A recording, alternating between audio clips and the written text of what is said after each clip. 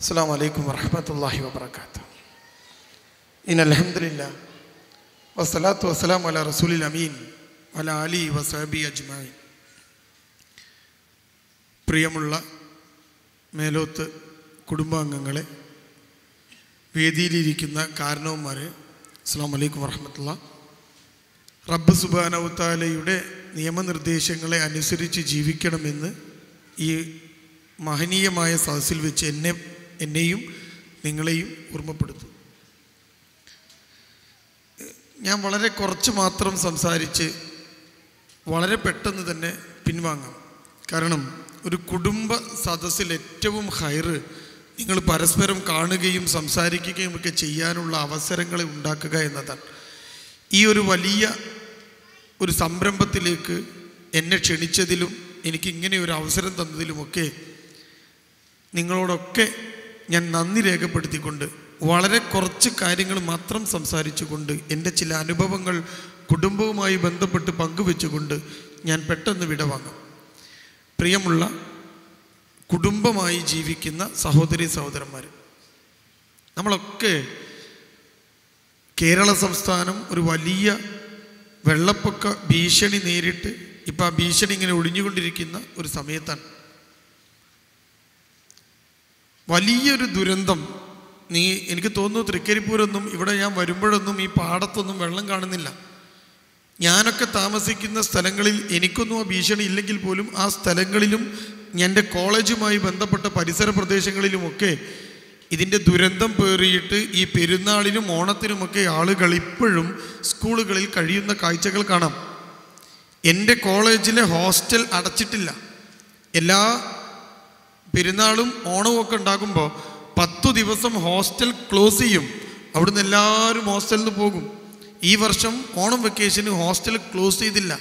അതിന് കാരണം ചില സ്ഥലങ്ങളിലുള്ള കുട്ടികൾക്ക് വീടുകളിലേക്ക് പോകാൻ കഴിയാതെ ഹോസ്റ്റലിൽ തന്നെ കുടുങ്ങിക്കിടക്കുകയാണ് അവർക്ക് വെള്ളവും ഭക്ഷണവും ഒക്കെയായി ആളുകൾ കോളേജിന്റെ അധ്യാപകരും കൂട്ടുകാരുമൊക്കെ ആ ഹോസ്റ്റലിന്റെ കാര്യങ്ങളൊക്കെ നോക്കിക്കൊണ്ടിരിക്കുന്നു. ഇങ്ങനെയൊക്കെയുള്ള ഒരവസരത്തിലാണ് ഞാനും നിങ്ങളൊക്കെ ഉള്ളത് എന്നറിയാം. വലിയ ഒരു ദുരന്തമായി ഒരു പ്രളയമായി ഈ കേരളത്തിൽ ഇങ്ങനെ ഒരു ദുരന്തമുണ്ടായപ്പോൾ പല തലങ്ങളിൽ നിന്നും പല ചർച്ചകളും വന്നു. എന്താ ഇങ്ങനെയൊക്കെ ഉണ്ടാവാൻ കാരണം? ഒരു വിശ്വാസി എന്ന നിലയ്ക്ക് ഒരു ഇസ്ലാം മത വിശ്വാസി എന്ന നിലയ്ക്ക് ഞാനും നിങ്ങളും ചിന്തിക്കണം. റബ്ബ് സുബാനവുത്താലയുടെ ചില പരീക്ഷണങ്ങളെ നമ്മളൊക്കെ നേരിടേണ്ടി വരും. അതിന്റെ കാരണം എന്താണെന്നറിയോ? ഒന്നാമത്തെ പ്രശ്നം ഞാൻ ഇനി പറയാൻ പോകുന്നതാ. നമ്മുടെ ലോകത്തെ കുടുംബങ്ങളെ കുട്ടികളെ ഇന്ന് സ്കൂളിലും കോളേജിലും പഠിച്ചുകൊണ്ടിരിക്കുന്നവരെ നിങ്ങളൊന്ന് എടുത്ത് പരിശോധിച്ച് നോക്ക്. ഞാൻ പറയുന്നു ഓരോ സംഭവങ്ങളും നമ്മളിലേക്ക് വിരൽ ചൂണ്ടുന്നത് എന്താ? രണ്ടായിരത്തി പതിനഞ്ചിലെ എസ് എസ് എൽ സി പരീക്ഷയ്ക്ക് മുഴുവൻ വിഷയത്തിനും എ പ്ലസ് കിട്ടിയ ഒരു കുട്ടി പെൺകുട്ടിയാ. മുഴുവൻ വിഷയങ്ങൾക്കും എ പ്ലസ് കിട്ടി. ദാ എന്റെ ഇട ഇടതുവശത്ത് നിങ്ങൾ കാണുന്ന സമ്മാനപ്പൊതികൾ പോലെ നിരവധി അനവധി സമ്മാനപ്പൊതികൾ പഞ്ചായത്തും അവിടുത്തെ രാഷ്ട്രീയ പാർട്ടികളും കുടുംബ സദസ്സുകളും ഒക്കെ ആ പെൺകുട്ടിക്ക് സമ്മാനിച്ചു. കാരണം അവൾ ആ സ്കൂളിൽ നിന്ന് എസ് എസ് എൽ സി പരീക്ഷ പാസ്സായത് തൊണ്ണൂറ്റിയെട്ട് ശതമാനം മാർക്ക് വാങ്ങിയിട്ടാണ്. തൊണ്ണൂറ്റിയെട്ട് ശതമാനം മാർക്ക് വാങ്ങി മുഴുവൻ വിഷയത്തിനും എ പ്ലസ് വാങ്ങി. രണ്ടായിരത്തി പതിനഞ്ചിൽ നടന്ന എസ് എൽ സി പരീക്ഷയിൽ മഹനീയമായ ഒരു വിജയം നേടിയ ഒരു പെൺകുട്ടി. ബാപ്പ ഒരു ഗൾഫുകാരന്. അത്യാവശ്യം സാമ്പത്തിക സെറ്റപ്പൊക്കെ ഉണ്ട്. ഒരു ഗൾഫിൽ ജോലി ചെയ്യുന്ന ബാപ്പ. ബാപ്പക്ക് സന്തോഷമായി ബാപ്പ ഗൾഫിൽ നിന്ന് വന്നു. വെക്കേഷൻ സമയത്ത് മോളോട് ചോദിച്ചു നീ എന്തിനാ മോളെ നീ ചേരേണ്ടത്? അവൾ പറഞ്ഞു ഉപ്പ എനിക്ക് ഇന്ന സ്കൂളിൽ പ്ലസ് ടുവിന് ചേരണം പ്ലസ് വണ്ണിന് ചേരണം. എന്നിട്ട് എൻട്രൻസ് എഴുതണം. എന്നിട്ട് ഡോക്ടർ ആവണം. ബാപ്പ പറഞ്ഞു അലഹമില്ല നമ്മുടെ കുടുംബത്തിൽ ഒരു ഡോക്ടർ ഇല്ല. ഇത്രയും ബുദ്ധിയുള്ള പഠിക്കാൻ കഴിവുള്ള നിനക്ക് തന്നെ അത് ചെയ്യാൻ പറ്റുള്ളൂ. എന്ത് വേണമെങ്കിലും ബാപ്പ ചെയ്തുതരാം. ആ കുട്ടിക്ക് ഇഷ്ടപ്പെട്ട സ്കൂളിൽ ആ നാട്ടിലെ ഏറ്റവും മികച്ച ഒരു സ്കൂളിൽ ആ കുട്ടിക്ക് അഡ്മിഷൻ കിട്ടി. തൊണ്ണൂറ്റിയെട്ട് ശതമാനം മാർക്കുണ്ട്. എവിടെ കൊടുത്താലും കിട്ടും. ആ കുട്ടി പ്ലസ് വണ്ണിന് വേണ്ടി ചേർന്നു. കുട്ടിക്ക് പതിനാറ് വയസ്സ്. പ്ലസ് വണ്ണിന് ചേർന്ന് മിടുക്കിയായി പഠിക്കാൻ തുടങ്ങി എല്ലാവരും പറഞ്ഞു ഇവൾ ഡോക്ടറാകും. സയൻസാ പഠിക്കുന്നേ. അങ്ങനെ ബാപ്പ ഗൾഫിലേക്ക് തിരിച്ചുപോയി. ആ വെക്കേഷൻ കഴിഞ്ഞ് ബാപ്പ തിരിച്ചു പോയി മകൾ സ്കൂളിൽ ചേർന്ന്. പിന്നീട് ബാപ്പ തിരിച്ചു വരുന്നത് അടുത്തായി പത്തു മാസത്തിന് ശേഷം ഈ കുട്ടിക്ക് പ്ലസ് വണ്ണിന്റെ എക്സാമിന് മാസങ്ങൾ ബാക്കിയുള്ളപ്പോൾ ബാപ്പ നാട്ടിൽ വരിക. നാട്ടിൽ വന്ന് ബാപ്പ ഇങ്ങനെ വീട്ടിൽ നിൽക്കുമ്പോൾ സ്കൂളിൽ നിന്നൊരു ഫോൺ. ഒരു ടീച്ചർ വിളിച്ചിട്ട് പറഞ്ഞു ഇന്ന കുട്ടിയുടെ വീടല്ലേ? അതെ. നിങ്ങൾ ഒന്ന് സ്കൂളിലേക്ക് വരണം. ചില കാര്യങ്ങൾ സംസാരിക്കാനുണ്ട്. ബാപ്പ അമ്മനോട് പറഞ്ഞു എല്ലാ മീറ്റിങ്ങിനും നീയല്ലേടി പോവാറ്? ഇത് ഞാൻ പൊക്കണം എന്റെ മോളെ ബഹിഷ്കരിച്ച് കിടന്നാൽ പിന്നെ പതിനൊന്ന് മണിക്ക് ഞാൻ അറിയൂ. എപ്പോഴാണ് അവൾ വരുന്നത് പോകുന്നതെന്ന് ഉമ്മക്കെ അറിയൂ. ആ മാഷ് പറഞ്ഞു നിങ്ങളുടെ ഫോൺ എടുത്ത് ഉമ്മാക്ക് വിളിക്കി. കഴിഞ്ഞ ബുധനാഴ്ച നിങ്ങളുടെ മകൾ എത്ര മണിക്കാണ് സ്കൂളിലെത്തിയത്? എന്ന് ചോദിക്കുക ബാപ്പ ഫോൺ എടുത്ത് ഭാര്യക്ക് ഭാര്യയ്ക്ക് വിളിച്ചു. ഭാര്യയോട് ചോദിച്ചു ബുധനാഴ്ച എന്റെ മോൾ എപ്പോഴാ വന്നേ? ഉടൻ ആ ഉമ്മ പറഞ്ഞു ബുധനാഴ്ച അവൾക്ക് സ്പെഷ്യൽ ക്ലാസ് ഉണ്ടായിരുന്നു. അവൾ ഏഴര മണിക്ക് തന്നെ വീട്ടിൽ നിന്ന് ഇറങ്ങിയിട്ടുണ്ട്. എട്ട് മണിക്ക് സ്കൂളിൽ സ്പെഷ്യൽ ക്ലാസ് ഉണ്ട്. ബാപ്പ ഫോൺ കട്ട് ചെയ്തു. മാഷോട് പറഞ്ഞു മാഷെ വേണ്ടാത്തരം പറയരുത്. എന്റെ മോൾ ഏഴര മണിക്ക് തന്നെ ഇറങ്ങിയിട്ടുണ്ട്. എട്ട് മണിക്ക് സ്പെഷ്യൽ ക്ലാസ് ഉള്ളതിന്. പിന്നെ എന്താ എന്റെ മോളെ പ്രശ്നം? മാഷ് പറഞ്ഞു ബാപ്പയോട് ബാപ്പ അങ്ങനത്തെ ഒരു സ്പെഷ്യൽ ക്ലാസ് അന്ന് ഈ സ്കൂളിൽ നടന്നിട്ടില്ല. അന്ന് സ്കൂൾ തുടങ്ങിയത് ഒമ്പതര മണിക്കാ. നിങ്ങളുടെ മോൾ എട്ട് മണിക്ക് സ്കൂളിൽ വന്നിട്ടുണ്ട്. പാപ്പ ചോദിച്ചു അത് എന്തിനാ? മാഷ് പറഞ്ഞു അതാ നിങ്ങളുടെ മോളെ പ്രശ്നം. ഈ സ്കൂളിൽ അടിച്ചു വാരാൻ വരുന്ന ഒരു സ്ത്രീയുണ്ട്. ഒരു പാവപ്പെട്ട പെണ്ണ്. ഇത്തിരി വയസ്സായ പെണ്ണ. ആ പെണ്ണ് അടിച്ചു വാരാൻ വേണ്ടി വന്ന് സ്കൂളൊക്കെ തുടങ്ങുന്നതിന് മുമ്പേ ബിൽഡിംഗ് ഒക്കെ അടിച്ചു വരാൻ വേണ്ടി സ്കൂളിലെ ഒരു ബിൽഡിങ്ങിൽ കയറിയിട്ട് നോക്കിയപ്പോൾ ആ ബിൽഡിങ്ങിന്റെ ഒരു മൂലയിൽ ആളുകൾ കാണാത്തിടത്ത് ഈ പെൺകുട്ടി നിൽക്കുന്നു. കാണാൻ പറ്റാത്ത രൂപത്തിൽ കൂടെ ഒരു ചെറുക്കനുണ്ട്. ഈ പെണ്ണിനെ കണ്ടതും രണ്ടാളും ഒന്ന് പതറി. ഈ പെണ്ണ് അടുത്ത് ചെന്നിട്ട് പെൺകുട്ടി ഈ പെൺകുട്ടിയോട് ഈ സ്ത്രീ ചോദിച്ചു എന്താ മോളെ ഇത്? ഉടനെ ആ പെൺകുട്ടി ആ സ്ത്രീയോട് പറഞ്ഞ വാക്കെന്താണെന്നറിയോ അടിച്ചു വരാൻ വരുന്ന പെണ്ണ് അടിച്ചു തരണ പണിയെടുത്താൽ മതി. വേണ്ടാത്ത കാര്യത്തിൽ ഇടപെടണ്ട. അതും ഒരു അമ്മയാ. നോക്ക് നിങ്ങൾ മൂന്നോ നാലോ മക്കളെ പ്രസവിച്ച ഒരു അമ്മയാ. ആ പെണ്ണിന്റെ വാക്കും ആ പെണ്ണിന്റെ പ്രവൃത്തിയും ഒന്നും ആ അമ്മയ്ക്ക് ദഹിച്ചില്ല. സ്കൂൾ തുടങ്ങിയപ്പം ആ കുട്ടിയെ മനസ്സിലായ ടീച്ചർ വളരെ ഫേമസ് ആണ് പഠിക്കുന്ന കുട്ടിയാ. ആ കുട്ടിയുടെ ക്ലാസ് ടീച്ചറോട് കാര്യം പറഞ്ഞു. കാര്യം പറഞ്ഞപ്പം ആ അടിച്ചു വാരുന്ന പെണ്ണിന്റെ കണ്ണിന്ന് കണ്ണീര് വരുന്നു. അവർ പറഞ്ഞു ടീച്ചറെ നല്ല പഠിക്കുന്ന കുട്ടിയല്ലേ അവൾ. ടീച്ചർ ഒന്ന് പറഞ്ഞു മനസ്സിലാക്കണം. ടീച്ചർ അവളെ വിളിച്ചു. അഹങ്കാരത്തിന്റെ മുഖവുമായി അഹങ്കാരത്തിന്റെ സ്വഭാവവുമായിട്ട് ആ ടീച്ചറിന്റെ മുമ്പിൽ വന്ന് ഒന്നും ആ കുട്ടി തുറക്കുന്നില്ല. ടീച്ചറോട് പറഞ്ഞു ടീച്ചറെ ഞാൻ പഠിക്കേണ്ടല്ലോ. ടീച്ചറെ നോക്കിയാൽ പോരെ. എന്റെ ഇങ്ങനത്തെ കാര്യങ്ങളൊക്കെ നോക്കണോ? എന്നാണ് ആ കുട്ടി ചോദിച്ചേ. നോക്കണം നിങ്ങൾ അങ്ങനെ ടീച്ചർ നമ്പർ കൊടുത്തിട്ട് പറഞ്ഞു നിങ്ങൾ ഈ കുട്ടിക്കൊരു കൗൺസിലിംഗ് ഒക്കെ നടത്ത്. ഒന്ന് സംസാരിപ്പിക്കുക എന്റെ അടുത്ത് വന്നപ്പോഴും ആ കുട്ടി ഒരിത്തിരി അഹങ്കാരത്തില്ല അങ്ങനെയൊക്കെ പറഞ്ഞപ്പം അവസാനം ആ കുട്ടി എന്നോട് പറഞ്ഞു സാർ എന്നെ രക്ഷിക്കണം സഹായിക്കണം. ഞാൻ ചോദിച്ചു എങ്ങനെയാണ് നിന്നെ സഹായിക്കേണ്ടത്? ഞങ്ങൾ തമ്മിലുള്ള പ്രേമബന്ധം വെറും ഒരു പ്രേമബന്ധത്തിൽ ഒതുങ്ങി നിൽക്കുന്നതല്ല. അത് പ്രേമബന്ധത്തിന്റെ അപ്പുറത്തേക്ക് പോയിട്ടുണ്ട്. നിങ്ങൾക്ക് ഞാൻ പറഞ്ഞ അത്രയും പറഞ്ഞാൽ മനസ്സിലാവുമല്ലോ. അതുകൊണ്ട് ആ കുട്ടി പറഞ്ഞു സാർ എങ്ങനെങ്കിലും ഇതൊന്ന് നടത്തി തരാൻ വേണ്ടി എന്റെ ബാപ്പനോട് പറയണം. ഞാൻ പറഞ്ഞു നോക്കട്ടെ. ബാപ്പനെ വിളിച്ച് ഞാൻ പറഞ്ഞു ഈ കാര്യം പാപ്പ പറഞ്ഞു നടക്കൂല. ഞങ്ങളെ കുടുംബത്തിൽ ഇങ്ങനെ ഒരു പ്രേമവിവാഹം നടന്നിട്ടില്ല. എനിക്ക് താല്പര്യമില്ല. ഞാൻ പറഞ്ഞു പോട്ടെ നിങ്ങൾ ഒന്ന് അന്വേഷിക്ക് ഈ ചെറുക്കൻ എന്താ എങ്ങനെയാ നമുക്ക് പറ്റുമോ? ഒന്ന് അന്വേഷിക്ക്. അവളറിയണ്ട അവളറിയാതെ നിങ്ങളൊന്ന് അന്വേഷിക്ക്. എന്നിട്ട് പറഞ്ഞാൽ മതി എന്നിട്ട് നമുക്ക് ആലോചിക്കാം ഇത് വേണോ ഒഴിവാക്കണോ എന്നൊക്കെ. പോരെ അവളെ ബോധ്യപ്പെടുത്തണമല്ലോ നമുക്ക്. പ്രേമം മനസ്സിനകത്തേക്ക് കയറിയാൽ കണ്ണ് കാണില്ല ആൺകുട്ടിക്കും പെൺകുട്ടിക്കും. ഒന്ന് പറഞ്ഞാൽ മനസ്സിലാവില്ല അപ്പം ഞാൻ പറഞ്ഞു നിങ്ങൾ ബോധ്യപ്പെടുത്തണ്ടേ നിങ്ങൾ ഏതായാലും ഒന്ന് അന്വേഷിക്കും. നമുക്ക് പറ്റിയതാണെങ്കിൽ നോക്കാമല്ലോ ബാപ്പ പറഞ്ഞു ശരി സാറ് പറഞ്ഞതുകൊണ്ട് ഞാനൊന്ന് പോവാം. രണ്ട് ദിവസം കഴിഞ്ഞപ്പോൾ സുബൈ നിസ്കരിച്ച് വീട്ടിലേക്ക് തിരിച്ചു വന്ന് നേരമൊന്ന് പുലർന്നപ്പോൾ ഭാര്യന്റെ കയ്യിൽ നിന്ന് ഒരു കട്ടൻ ചായ വാങ്ങിക്കുടിച്ച് തന്റെ ടു വീലറും എടുത്തിട്ട് ഇയാൾ ഇറങ്ങി. ഈ ചെറുക്കന്റെ അഡ്രസ്സ് നോക്കി. അയാൾ താമസിക്കുന്ന സ്ഥലത്തു നിന്ന് ഒരു മൂന്നോ നാലോ കിലോമീറ്റർ അപ്പുറത്താ വീട്. അഡ്രസ്സൊക്കെ അന്വേഷിച്ച് ബാപ്പ എത്തിപ്പെട്ടത് ഒരു വലിയ വീടിന്റെ മുന്നിലാണ് വീടിന്റെ ഗേറ്റിന്റെ അടുത്ത് വണ്ടി നിർത്തിയിട്ട് ഗേറ്റിന്റെ അടുത്ത് നിന്നപ്പം ബാപ്പാക്ക് ഇത്തിരി ആശ്വാസം. എന്റെ മകൾ കണ്ടെത്തിയത് നല്ലൊരു വീടാണല്ലോ. സാമ്പത്തികാവസ്ഥ ഒക്കെ ഉണ്ടല്ലോ ഏതായാലും പ്രശ്നമില്ല. നല്ല വീട്. ആ ഗേറ്റ് ഇങ്ങനെ തള്ളി തുറന്ന് അകത്തേക്ക് കയറി നോക്കിയപ്പോൾ വീടിന്റെ കൊലായിലിരിക്കുന്നു. നിസ്കേരത്തഴമ്പൊക്കെയുള്ള ഒരു ബാപ്പ. ബാപ്പാന്റെ അടുത്ത് ആ ബാപ്പാന്റെ ഭാര്യ ഉമ്മ ഇരുന്നിങ്ങനെ വർത്താനം പറയുക ഇയാൾക്ക് വീണ്ടും സന്തോഷമായി രാവിലെ ആറ് മണിക്ക് ആറര മണിക്ക് കൊലായിൽ ഇത്രയും തെളിച്ചത്തോടെ ഇരിക്കണമെങ്കിൽ അയാൾ രാവിലെ സുബൈക്ക് പള്ളിയിൽ പോയി കാണും. അയാൾ മനസ്സിലോർത്തു റബ്ബേ പള്ളിക്കൊക്കെ പോകുന്ന ബാപ്പന്റെ ഒക്കെ വീടാണല്ലോ. പ്രശ്നമില്ല. ബാപ്പി ഉമ്മയും കൊലായിൽ ഇങ്ങനെ വർത്തമാനം പറഞ്ഞിരിക്കുക നല്ലൊരു കുടുംബ ബന്ധവുമുണ്ടല്ലോ നോക്കണം നിങ്ങൾ. ബാപ്പ അയാൾ അകത്തേക്ക് കയറി. അയാളെ കണ്ടത് ഉമ്മ അകത്തേക്ക് പോയി. ബാപ്പ സലാം പറഞ്ഞിട്ട് അയാൾ അകത്ത് കയറ്റിയിരുത്തി. വിശേഷങ്ങൾ ചോദിച്ചു നിങ്ങൾ എവിടുന്ന് വരുന്നു? എന്താ കാര്യങ്ങൾ? അയാൾ കാര്യമൊക്കെ പറഞ്ഞു ഞാൻ ഇന്ന സ്ഥലത്താണ്. ഞാനൊരു ഗൾഫുകാരനാണ്. ഇങ്ങനെ എങ്ങനെയാണ് കാര്യം. എന്നൊക്കെ പറഞ്ഞപ്പം ഭർത്താവ് ആ വീട്ടിലെ ബാപ്പ ഉമ്മനോട് പറഞ്ഞു എടി നീ ഒരു ക്ലാസ് ചായ എടുക്ക്. എന്നിട്ട് സംസാരം തുടങ്ങി. തുടങ്ങിയപ്പോൾ ചോദിച്ചു എന്തിനങ്ങൾ വന്നത്? ഇയാൾ പറഞ്ഞു പിന്നെ എനിക്കൊരു മോളുണ്ട്. പ്ലസ് വണ്ണിന് പഠിക്കുന്നു ഇന്ന സ്കൂളിൽ. നിങ്ങൾക്കൊരു മോനില്ലേ? സൂപ്പർ മാർക്കറ്റിലെ സെയിൽസ്മാൻ ആയിട്ട് ജോലി ചെയ്യുന്ന ഒരു മോൻ. ബാപ്പ പറഞ്ഞു എനിക്കൊരു മോനല്ല എനിക്ക് ആറ് മക്കളുണ്ട്. ആറ് മക്കളിൽ നാലുമാണ് അതിലേറ്റവും ഇളയവനാണ് നിങ്ങൾ ഈ പറഞ്ഞ സൂപ്പർ മാർക്കറ്റിൽ ജോലി ചെയ്യുന്ന എന്റെ മകൻ. നോക്കണം നിങ്ങൾ. അപ്പോഴോ അപ്പോൾ ബാപ്പ പറഞ്ഞു എന്താ പ്രശ്നം? നിങ്ങളുടെ മോനും എന്റെ മോളും തമ്മിൽ ചെറിയൊരു പ്രേമത്തിലാണ് ഇപ്പോഴത്തെ കാലല്ലേ ഇപ്പോഴത്തെ കുട്ടികളല്ലേ അതുകൊണ്ട് എന്തെങ്കിലുമൊക്കെ ചെയ്ത് എന്തെങ്കിലും ചെയ്യാൻ പറ്റുമോ അറിയാനൊക്കെ വേണ്ടിയിട്ട് ഞാൻ വന്നതാണ് ഏതായാലും ഇവിടെ വന്നപ്പോൾ എനിക്ക് സന്തോഷമായി സമാധാനമായി ആ ചെറുക്കന്റെ വാപ്പ താൻ ഇരുന്ന കസേരയിലേക്കൊന്ന് ചാരിയിരുന്നു. ഒന്നും മിണ്ടിയില്ല. ഉമ്മ ചായ കൊണ്ടുവന്നു. ടീപ്പോയിൽ ചായ വെച്ചപ്പം വാപ്പ പറഞ്ഞു ചെറുക്കന്റെ വാപ്പ പറഞ്ഞു നിങ്ങൾ ചായ കുടിക്കി. അയാൾ ചായ എടുത്ത് ഇങ്ങനെ കുടിച്ചു.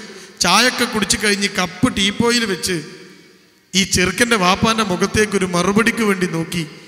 അയാളെ മുഖത്തേക്ക് ഇങ്ങനെ നോക്കിയപ്പം ചെറുക്കന്റെ വാപ്പ പറഞ്ഞു പിന്നെ ഇതേ കാര്യം പറഞ്ഞ് ഇവിടെ വരുന്ന നാലാമത്തെ ആളാണ് നിങ്ങൾ. പാപ്പന്റെ മനസ്സിൽ കൂടി ഒരു മിന്നൽ പിളർ പാഞ്ഞുപോയി. ഇതേ കാര്യം പറഞ്ഞു വരുന്ന നാലാമത്തെ ആളാ. ഇനി ആരെങ്കിലുമൊക്കെ വരുമോ നോക്കിയിട്ട് പോരെ ആലോചന. പോരെ. എന്താണ് ഈ വാപ്പ ഇനി പറയേണ്ടത്? അയാൾ എണീറ്റു. ആ ബാപ്പാന്റെ മുഖത്തേക്കൊന്ന് നോക്കിയിട്ട് അയാൾ ആ പടിയിൽ നിന്ന് കണ്ട് ഇറങ്ങി. മക്കളെ വളർത്താൻ വേണ്ടി നടന്ന് തേഞ്ഞ് തീർന്ന ചെരുപ്പ് കാലിൽ തിരികിയിട്ട് തിരിഞ്ഞു നടക്കുമ്പോൾ ബാക്കിൽ നിന്ന് ചെറുക്കന്റെ വാപ്പ ഇങ്ങനെ കൈയടിച്ച് വിളിച്ചു പിന്നെ മോളെ ശ്രദ്ധിക്കണം. പാപ്പ പറയുക ചെറുക്കന്റെ വാപ്പ നിങ്ങളെ മോൾ നിങ്ങളൊന്ന് ശ്രദ്ധിക്കണേ. എന്നിട്ട് അയാൾ പറയുക കാരണം എന്റെ മോനായതുകൊണ്ട് പറയുക ഞാൻ അവനൊരു വൃത്തികെട്ടവനാ ബാപ്പാണ് സർട്ടിഫിക്കറ്റ് കൊടുത്തു. കണ്ടോ? ടയോട്ട കമ്പനി ഒരു കാർ ഉണ്ടാക്കിയിട്ട് കമ്പനി തന്നെ പറയാ ഈ കാറ് വൃത്തികെട്ടതാന്ന്. ആരെങ്കിലും വാങ്ങുമോ ഉണ്ടാക്കിയ കമ്പനി തന്നെ പറഞ്ഞു ഇതാ എന്റെ മോനായതുകൊണ്ട് വൃത്തികെട്ടവനാ. അതുകൊണ്ട് അവനെ പറ്റി എന്തെങ്കിലും കംപ്ലൈന്റ് ഉണ്ടെങ്കിൽ ദയവ് ചെയ്ത് ഈ പടി കയറി വരരുത്. സ്റ്റേഷനിൽ കൊടുക്കുകയോ അടിച്ച് കൊല്ലുകയോ എന്ത് വേണമെങ്കിലും ചെയ്തോ ഞാൻ പെർമിറ്റ് ചെയ്തിരിക്കുന്നു. ദയവ് ചെയ്ത് എന്റെ അടുത്തേക്ക് വരരുത്. മോളെ ശ്രദ്ധിക്കണേ. പിറ്റേ ദിവസം സ്കൂൾ വിട്ട് ആ കുട്ടിയെ കൊണ്ട് അയാൾ എന്റെ അടുത്ത് വരിക. മൂന്ന് പേരും കൂടി ഇങ്ങനെ ഇരുന്നപ്പം ഞാൻ ബാപ്പയോട് ചോദിച്ചു നിങ്ങൾ അന്വേഷിച്ചോ? ബാപ്പ പറഞ്ഞു പിന്നെ ഞാൻ അന്വേഷിച്ചു. എന്നിട്ടോ അടിപൊളി ചെറുക്കന ചെറുക്കനാ. നാലാമത്തെ താണത്ര ഞാൻ. ഈ വിവരം കേട്ടപ്പോൾ ആ പെൺകുട്ടി ഒന്ന് ഞെട്ടി. മുഖത്തെ അഹങ്കാരമൊക്കെ ചോർന്നു പോയി അവൾ എന്റെ മുമ്പിലിരുന്ന് കുറേ നേരം കരഞ്ഞു. എന്റെ മുന്നിലിരിക്കുന്ന സ്കൂളിലും കോളേജിലുമൊക്കെ പഠിക്കുന്ന എന്റെ പ്രിയപ്പെട്ട പെൺകുട്ടികളും ആൺകുട്ടികളും ഒക്കെ ചിന്തിച്ചോ? ആ പെൺകുട്ടി ഇന്ന് കഴി രണ്ടായിരത്തി പതിനഞ്ചിൽ എസ് എൽ സി പാസ്സായി രണ്ടായിരത്തി പതിനാറിൽ പ്ലസ് വൺ പരീക്ഷ എഴുതി രണ്ടായിരത്തി പതിനേഴിൽ കഴിഞ്ഞ വർഷം പ്ലസ് ടു പരീക്ഷ എഴുതി എൻട്രൻസ് പരീക്ഷ എഴുതി. ഡോക്ടറാവാനുള്ള കഴിവും പക്വതയും ഒക്കെയുള്ള ആ പെൺകുട്ടി പ്ലസ് വൺ പരീക്ഷ എഴുതിയിട്ടില്ല. കാരണം എന്താണെന്നറിയോ? സൈക്കോളജിയിൽ ഒരു രോഗമുണ്ട്. ഡിപ്രഷൻ എന്ന് പറയും. താങ്ങാനാവാത്ത പ്രശ്നങ്ങൾ മനസ്സിന് വരുമ്പോൾ ഒരു മനുഷ്യനാകെ ഇരുന്നു പോകും. ആ പെൺകുട്ടി കരയാൻ തുടങ്ങി. ആരോടും സംസാരിക്കാതെയായി. കാരണം എന്താ? ഈ ചെറുക്കനുമായുള്ള ബന്ധം ഇത്തിരി അതിരുവിട്ടുപോയി ഇപ്പോൾ കോഴിക്കോട് ഇക്ര എന്ന് പറയുന്ന ഒരു ഹോസ്പിറ്റലുണ്ട് നിങ്ങൾ അന്വേഷിക്കണം. അവിടെ doctor P N Suresh Kumar എന്ന് പറയുന്ന സൈക്യാട്രിസ്റ്റ് ഉണ്ട്. മലബാറിലെ ഏറ്റവും പ്രസിദ്ധനായ സൈക്യാട്രിസ്റ്റുകളിൽ ഒരാൾ. ആ ഇക്കറ ആസ്പത്രിയിലെ doctor P N Suresh Kumar എന്ന ഡോക്ടറുടെ ചികിത്സയിൽ ഡിപ്രഷന്റെ വിഷാദ രോഗത്തിന്റെ മരുന്നും കുടിച്ച് തടിയൊക്കെ കൂടി ആരോടും മിണ്ടാതെ അത്രയും ബുദ്ധി റബ്ബ് സുബാനവ് താല കൊടുത്തൊരു പെൺകുട്ടി ഒരു വീട്ടിനകത്ത് ഇപ്പോഴും ഒതുങ്ങിക്കൂടുന്നുണ്ട് എന്ന് നിങ്ങൾ അറിയണം ഒരു കേസ് മാത്രമല്ല ഒന്ന് മാത്രം ഞാൻ പറഞ്ഞു. അത്രേ. നോക്കൂ നിങ്ങൾ. ആരാണ് ഇതിനൊരു ഒരു പരിഹാരം കാണുക? നമ്മുടെ മക്കളാ പണ്ടൊക്കെ കല്യാണാലോചന എന്നാ പറയാ. അങ്ങനെയാ ഒരു കല്യാണാലോചന. ഇപ്പൊ കല്യാണാലോചന ഇല്ല. കല്യാണ ഗൂഢാലോചന. അല്ല ആലോചന പോയി. കണ്ടോ? നോക്കണേ. ഇരുപത്തൊന്ന് വയസ്സുള്ള പെൺകുട്ടിക്ക് ബാപ്പ കല്യാണം അന്വേഷിച്ചു നിങ്ങൾ കേൾക്കണതൊക്കെ ഒരു കുടുംബമായി ജീവിക്കുമ്പോൾ ഈ രണ്ടായിരത്തി പതിനെട്ടിന്റെ കഴിയാനായല്ലോ. ഈ പതിനെട്ടിലൊക്കെ ജീവിക്കുമ്പോൾ നിങ്ങൾ അറിയണം ഇതൊക്കെ. പെൺകുട്ടിക്ക് കല്യാണം ആലോചിച്ചു ബാപ്പ ചോദിച്ചു മോളെ കല്യാണം നോക്കട്ടെ. ആ പെൺകുട്ടി ചിരിച്ചുകൊണ്ട് പറഞ്ഞു ബാപ്പ നോക്കിക്കോ കല്യാണം. ഞാൻ റെഡിയാണ്. ബാപ്പക്ക് എന്നെ അന്തം വിട്ടുപോയി? പഠിച്ചോനെ കല്യാണം റെഡിയാകുന്ന കുട്ടിയോ? ഏത് കുട്ടിയും ഒന്ന് എതിർക്കും. ബാപ്പ കല്യാണം നോക്കി. ആ നാട്ടിലെ നല്ലൊരു ചെറുക്കനെ നോക്കി കല്യാണം ഉറപ്പിച്ചു. കല്യാണത്തിന്റെ അന്ന് തന്നെ കാനോത്തും നിക്കാഹും. കല്യാണമൊക്കെ റെഡി ആയിട്ട് ഇങ്ങനെ പോവുക അടിപൊളിയായിട്ട് ഇങ്ങനെ പോവുക. ബാപ്പ എല്ലാവരെയും ക്ഷണിച്ചു വലിയ കല്യാണം രണ്ടായിരത്തി അഞ്ഞൂറ് പേര് വരുന്ന വലിയ കല്യാണം ഓഡിറ്റോറിയം ബുക്ക് ചെയ്തു.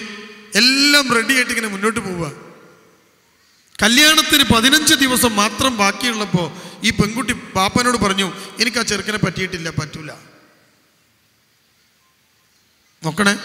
കല്യാണത്തിന് പതിനഞ്ച് ദിവസം മാത്രം ബാക്കിയുള്ളപ്പോൾ പെൺകുട്ടി പറയുക എല്ലാ നാട്ടുകാരെയും കല്യാണം വിളിച്ച് കത്തടിച്ച് ഓഡിറ്റോറിയം ബുക്ക് ചെയ്ത് ചോറ് വെക്കാൻ ആളെ ഏൽപ്പിച്ച് എല്ലാ ഒരുക്കങ്ങളും പൂർത്തിയായപ്പോൾ പെൺകുട്ടി പറയുക എനിക്ക് ആ ചെറുക്കൻ ഇഷ്ടമായിട്ടില്ല അതുകൊണ്ട് ഈ കല്യാണം നടക്കൂല.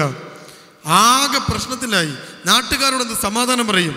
ബാപ്പാന്റെ മാനം. ആകെ പ്രശ്നം. അങ്ങനെ ബാപ്പ വണ്ടിയെടുത്ത് ദൂരെ എന്റെ അടുത്ത് കൊണ്ടുവരുന്നു.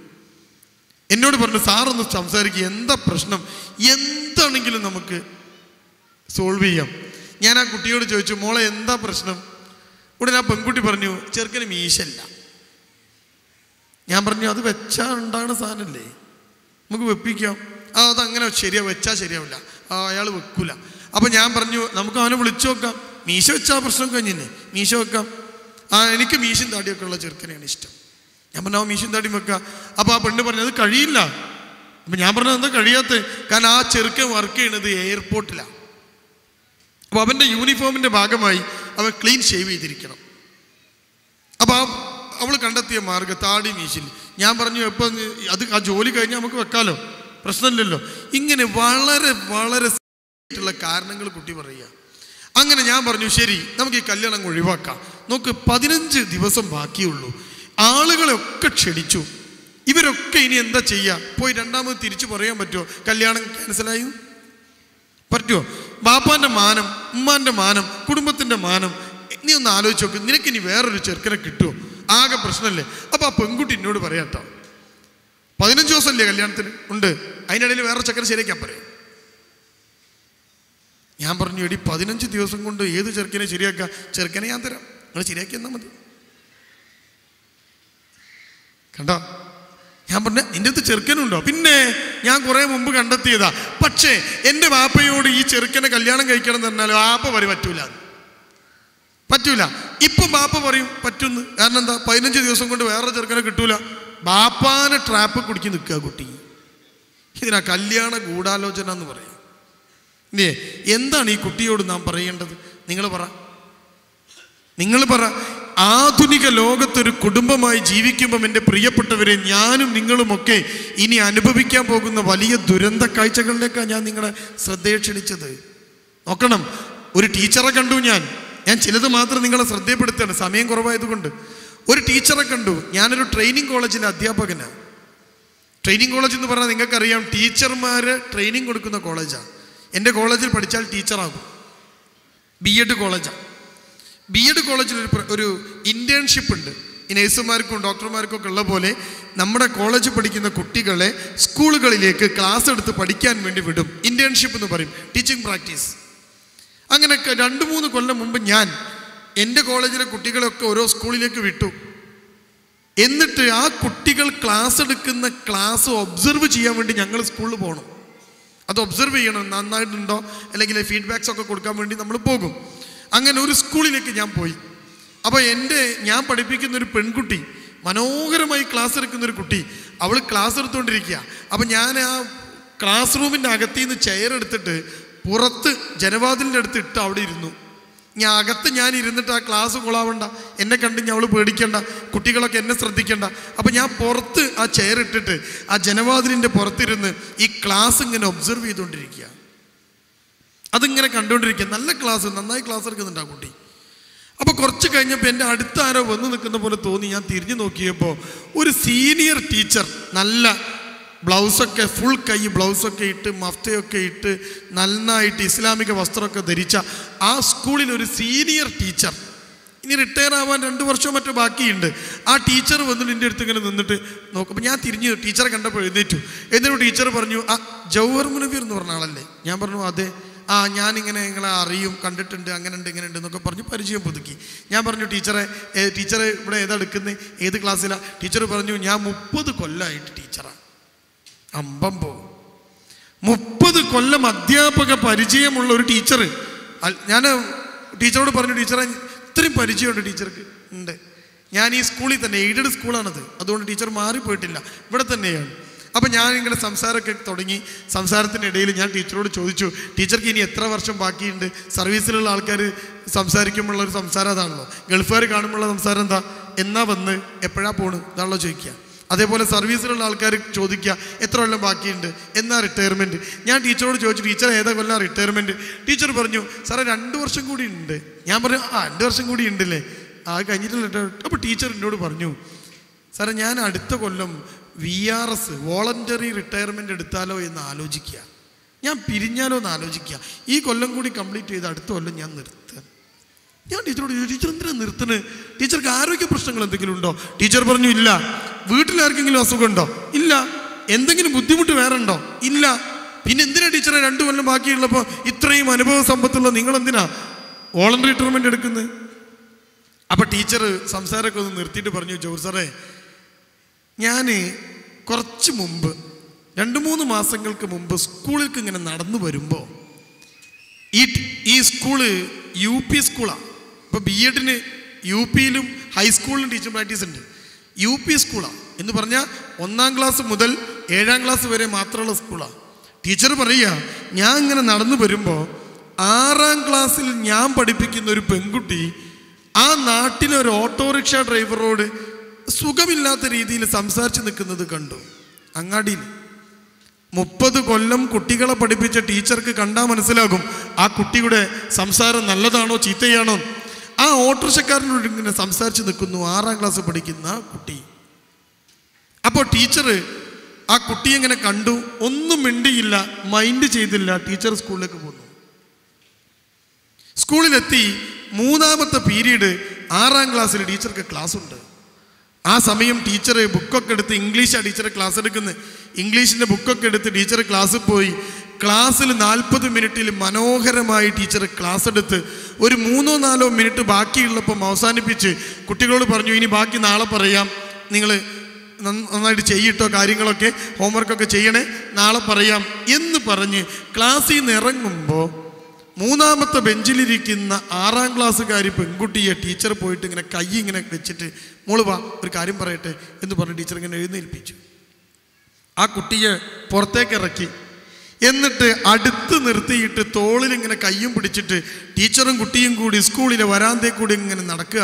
ഒരു ഉമ്മയുടെ സ്നേഹവാത്സല്യത്തോടെ ആ അധ്യാപിക ആ കുട്ടിയെ ഇങ്ങനെ പിടിച്ചുകൊണ്ട് നടക്കുക. നടക്കുമ്പോൾ ചോദിച്ചു എന്തൊക്കെ മോളെ വിശേഷം? സുഖല്ലേ? വീട്ടിൽ പ്രശ്നമൊന്നുമില്ലല്ലോ? ബാപ്പ ഗൾഫിൽ നിന്ന് എന്നാ വരിക? ടീച്ചർക്ക് എല്ലാം അറിയാം ഈ കുട്ടിയെക്കുറിച്ച്. ഉമ്മാന്റെ കാര്യങ്ങളൊക്കെ എങ്ങനെയാ? നന്നായി പോകുന്നില്ല? ഒക്കെ ചോദിച്ച് ടീച്ചർ ആ കുട്ടിയെ പിടിച്ചിങ്ങനെ വരിക.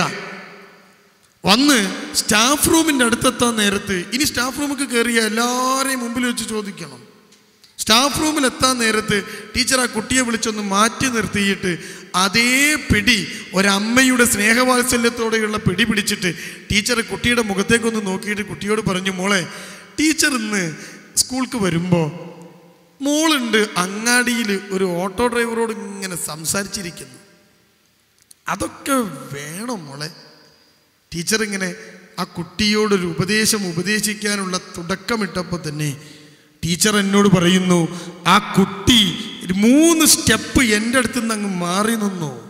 എന്റെ കൈയൊക്കെ അങ്ങ് വിടിയിച്ച് മൂന്ന് സ്റ്റെപ്പ് മാറി നിന്നിട്ട് കുട്ടി ടീച്ചറുടെ മുഖത്ത് നോക്കിയിട്ട് മുപ്പത് കൊല്ലത്തിന്റെ അനുഭവ പരിചയമുള്ള ടീച്ചറിന്റെ മുഖത്ത് നോക്കിയിട്ട് ആ കുട്ടി പറഞ്ഞു ടീച്ചറെ ടീച്ചറ് പഠിപ്പിച്ചാൽ മതി. പേഴ്സണൽ കാര്യത്തിലൊന്നും ഇടപെടണ്ട. നോക്ക് നിങ്ങൾ നോക്ക് നിങ്ങൾ. മുപ്പത് കൊല്ലം സ്കൂളിൽ തലമുറകൾക്ക് വിദ്യാഭ്യാസം നൽകി പകർന്നു കൊടുത്തിട്ടും ആ ടീച്ചറോട് ഇന്ന് വരെ പറയാത്തൊരു വാക്ക് ആ സ്കൂളിലെ ഒരു പെൺകുട്ടിയുടെ മുഖത്ത് നിന്നുണ്ടായപ്പോൾ ടീച്ചർ ചോദിക്കുന്നു എന്നോട്? എന്നോട് ചോദിക്കുന്നു ടീച്ചർ എന്താ ചോദിച്ചതെന്നറിയോ? ഇനി എന്തിനാ സാറേ ഞാൻ ഈ സ്കൂളിൽ പഠിപ്പിക്കുന്നത് ആരെ നന്നാക്കാൻ? കണ്ടോ? ആരും പറഞ്ഞാൽ കേൾക്കാത്ത ആരോടും പ്രതിബദ്ധതയില്ലാത്ത ഒരു കമ്മിറ്റ്മെന്റും പെറ്റ തള്ളയോടും തന്തയോടും പോലും കാണിക്കാത്ത ഒരു ഉത്തരാധുനിക തലമുറ മുഴുവൻ സ്വാതന്ത്ര്യവും വേണമെന്ന് ആവശ്യപ്പെട്ടുകൊണ്ട് ചങ്ങലക്കെട്ടുകളെ തകർത്തെറിഞ്ഞ് മുന്നോട്ട് വരുമ്പോൾ ആരാണ് അവരെ തടഞ്ഞു നിർത്തുക? നിങ്ങൾ ആലോചിച്ച് നോക്കൂ. ഞാനൊരു അധ്യാപകനാണ്. ഒരു അധ്യാപകനാണ്. സ്വന്തം വാപ്പയും ഉമ്മക്കും പോലും പറയാൻ പറ്റൂല കുട്ടികളോടൊരു നന്മ. പിന്നെയല്ലേ അധ്യാപകൻ. ഞാൻ എന്ന അധ്യാപകനെ കുറിച്ച് നിങ്ങൾ ആലോചിച്ച് നോക്ക്.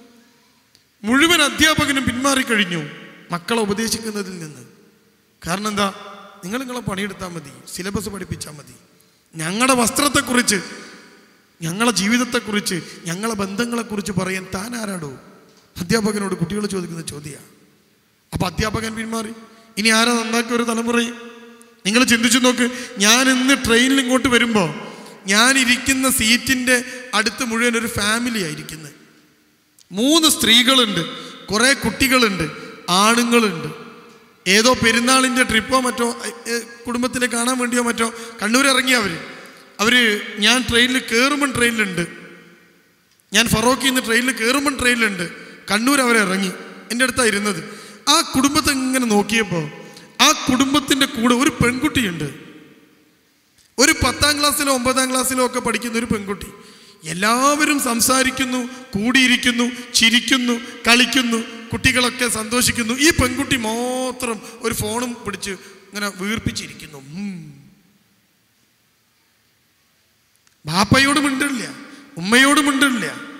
അനിയൻ എന്തെങ്കിലും എന്ന് പറയുമ്പോൾ ഉണ്ടാക്കും. അവൾ ഒറ്റയ്ക്ക് ഇരിക്കുക. എവിടെയൊക്കെ പോക്ക്? ബന്ധങ്ങൾക്ക് വിലയില്ലാത്ത ഒരു കാലഘട്ടം. ഇവിടെയാണ് ഞാനും നിങ്ങളുമൊക്കെ ചിന്തിക്കേണ്ടത്. നമ്മുടെയൊക്കെ കുടുംബം എന്തിനാ? ഞാൻ വളരെ ചുരുക്കി പറഞ്ഞു നിർത്തുക. ഒരൊറ്റ കാര്യം കൂടി എന്റെ പ്രിയപ്പെട്ട കുടുംബ സദസ്സിൽ പറഞ്ഞുകൊണ്ട് ഞാൻ വേറെ കുറച്ച് കാര്യം കൂടി പറഞ്ഞു ഞാൻ നിർത്താം. ഒരു അനുഭവം കൂടി പറയട്ടെ. ഒരു ചെറിയ അനുഭവം. കണ്ടോ? ഒരു വീട്. ആ വീട്ടിനകത്ത് അഞ്ചു മക്കളുണ്ട്. ആ ഉമ്മ അഞ്ചു മക്കളെ പ്രസവിച്ചു. അഞ്ചു മക്കളെ പെറ്റ് പോറ്റി വളർത്തി വലുതാക്കി. ബാപ്പ ഗൾഫില. വലിയ വീടൊക്കെ ഉണ്ടാക്കി. അഞ്ച് ബെഡ്റൂം ഉണ്ട് വീട്ടിൽ. അഞ്ചു മക്കളുണ്ട് അഞ്ച് ബെഡ്റൂം ഉണ്ട്. അഞ്ചു മക്കളിൽ രണ്ട് പെണ്ണും മൂന്നാണും. അഞ്ചു മക്കൾ. നമ്മുടെ നാട്ടിലെ സിസ്റ്റം നിങ്ങളുടെ നാട്ടിലെ സിസ്റ്റം അല്ല. അവിടെ ആണുങ്ങൾ കല്യാണം കഴിച്ച് ഇങ്ങോട്ട് കൊണ്ടുവരിക ചെയ്യുക പെണ്ണ് പെണ്ണുങ്ങളെയൊക്കെ കെട്ടിച്ചു വിട്ടു. രണ്ട് മക്കളെയും കെട്ടിച്ചു വിട്ടു. പെൺകുട്ടികൾ പോയി. ആമ്പിള്ളേര് മൂന്ന് പേര് രണ്ട് പേര് കല്യാണം കഴിച്ചു.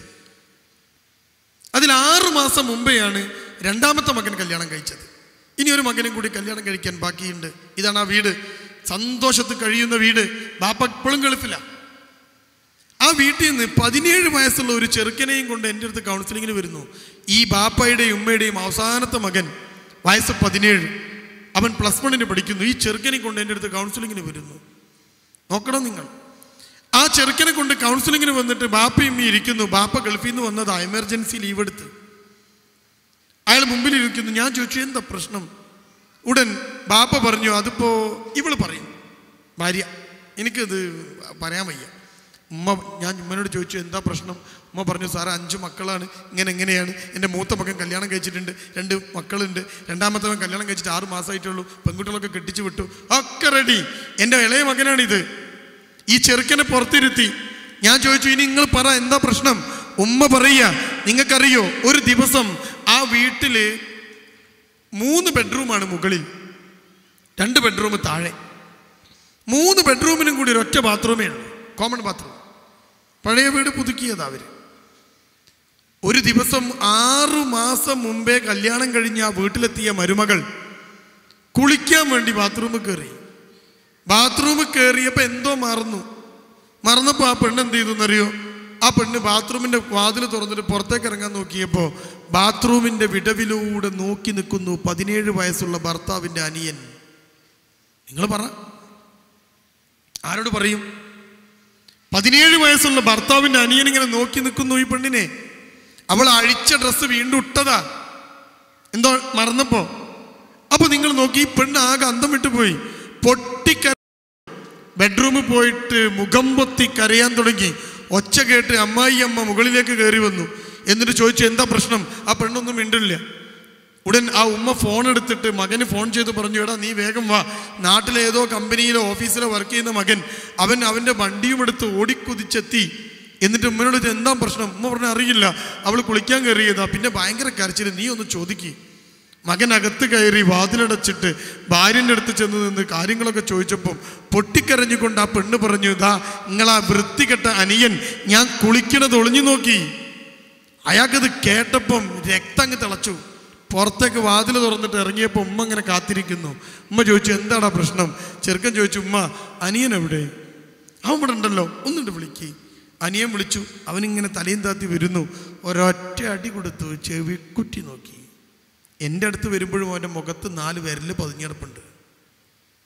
ഒരൊറ്റ അടി ഒരടിക്കവൻ നിലത്ത് വീണു. രണ്ടാമത് അടി അടിക്കാൻ പോയപ്പോഴേക്ക് ആ പെറ്റ തള്ള നടു കയറി നിന്നു. ഇനി എന്റെ മോനെ തല്ലരുത്. എന്താണ് ആ പ്രശ്നം? ഉടൻ ആ മോൻ പറഞ്ഞു ഉമ്മ ഈ വൃത്തികെട്ടവൻ അവൾ കുളിക്കുന്നത് ഒളിഞ്ഞു നോക്കി. നോക്ക് നിങ്ങൾ അവൻ അകത്തേക്ക് പോയി കുറച്ചു നേരം കഴിഞ്ഞപ്പം ആ പെണ്ണ് ഡ്രസ്സൊക്കെ എടുത്ത് ബാഗിലാക്കി പെട്ടിയിലാക്കി ആ ഉമ്മയുടെ കാലിന്റെ അടിയിൽ കൊണ്ടുവച്ചിട്ട് ഉമ്മന്റെ മുഖത്ത് നോക്കി കണ്ണീരോടെ പറഞ്ഞു ഉമ്മ ഞാൻ പോവാണ് ഇങ്ങോട്ട് വരൂല. മോൻ പറഞ്ഞു ഉമ്മ അവളെ ഞാൻ അവളെ വീട്ടിൽ കൊണ്ടു ചെന്നാക്കിയിട്ട് തിരിച്ചു വരാം. കല്യാണം വേണ്ടെന്നല്ല അവൾ പറഞ്ഞത്. ഞാൻ ഈ വീട്ടിൽ നിൽക്കൂല ഞാൻ എന്റെ വീട്ടിലേക്ക് പോവാണ്. മോൻ പറഞ്ഞു ഉമ്മ ഞാൻ അവളെ കൊണ്ടാക്കിയിട്ട് വരാം. അവൻ പോയി. മൂത്ത മകന്റെ ഭാര്യയുണ്ട് ആ വീട്ടിൽ. സുന്ദരമായിട്ട് മുന്നോട്ട് പോയിക്കൊണ്ടിരുന്ന ഒരു വീട് ഒരു കുടുംബം. നിങ്ങൾ ചിന്തിക്കണം. ആ വീട്ടിനകത്ത് മൂത്ത മകന്റെ ഭാര്യയുണ്ട്. മൂത്ത മകന്റെ ഭാര്യ അതൊക്കെ കേട്ടും കണ്ടും ഇങ്ങനെ നിൽക്കുക. നാല് മണിയായപ്പോൾ സ്കൂൾ വിട്ടു. ആ പെണ്ണിന് രണ്ട് മക്കളുണ്ട്. അഞ്ചു വയസ്സുള്ളൊരു മോനും ഏഴ് വയസ്സുള്ളൊരു മോളും. രണ്ടാം ക്ലാസ് പഠിക്കുക പെൺകുട്ടി. സ്കൂൾ വിട്ട് കുട്ടികളൊക്കെ വന്നപ്പോൾ അവരൊക്കെ കുളിപ്പിച്ച് വസ്ത്രം മാറി ഈ പെണ്ണും ഡ്രസ്സൊക്കെ മാറിയിട്ട് എല്ലാ പെട്ടിയും കുടിക്കൊക്കെ എടുത്തിട്ട് ഉമ്മാന്റെ കാലിന്റെ അടി കൊണ്ടുവച്ചിട്ട് ഈ പെണ്ണും പറഞ്ഞു ഉമ്മ ഞാനും പോവുക എനിക്കൊരു മോളാ ഏഴ് വയസ്സുള്ള. ഈ വൃത്തികെട്ടവന്റെ അടുത്ത് ഞാൻ എങ്ങനെ എന്റെ മോളെ വളർത്തും? ആ ഉമ്മയോട് ഈ പെണ്ണ് ചോദ്യം ചോദിച്ചപ്പോൾ ഉമ്മക്ക് ഉത്തരമില്ല. മൂത്ത മകൻ അവളെയും കൊണ്ടു ചെന്ന് അവളുടെ വീട്ടിലാക്കി മൈരിവ് നമസ്കരിച്ചിട്ട് നിസ്കാര പായിൽ ഇരുന്നിട്ട് ഉമ്മ ഇങ്ങനെ കരഞ്ഞു പ്രാർത്ഥിക്ക റബ്ബേ എന്റെ കുടുംബം ഉപ്പ് വെച്ച കലം പോലെയായി. ആകെ മൂന്ന് മക്കൾ. ആൺകുട്ടികൾ മൂന്ന് പേർ പെൺകുട്ടികൾ രണ്ടു പേർ. എന്തങ്ങനെയൊക്കെ പഠിച്ചോനെ ഈ കാക്കണം. ഈ പ്രാർത്ഥിച്ചിങ്ങനെ ഇരിക്കുന്ന സമയത്ത് അതാ വരണു രണ്ട് മക്കൾ.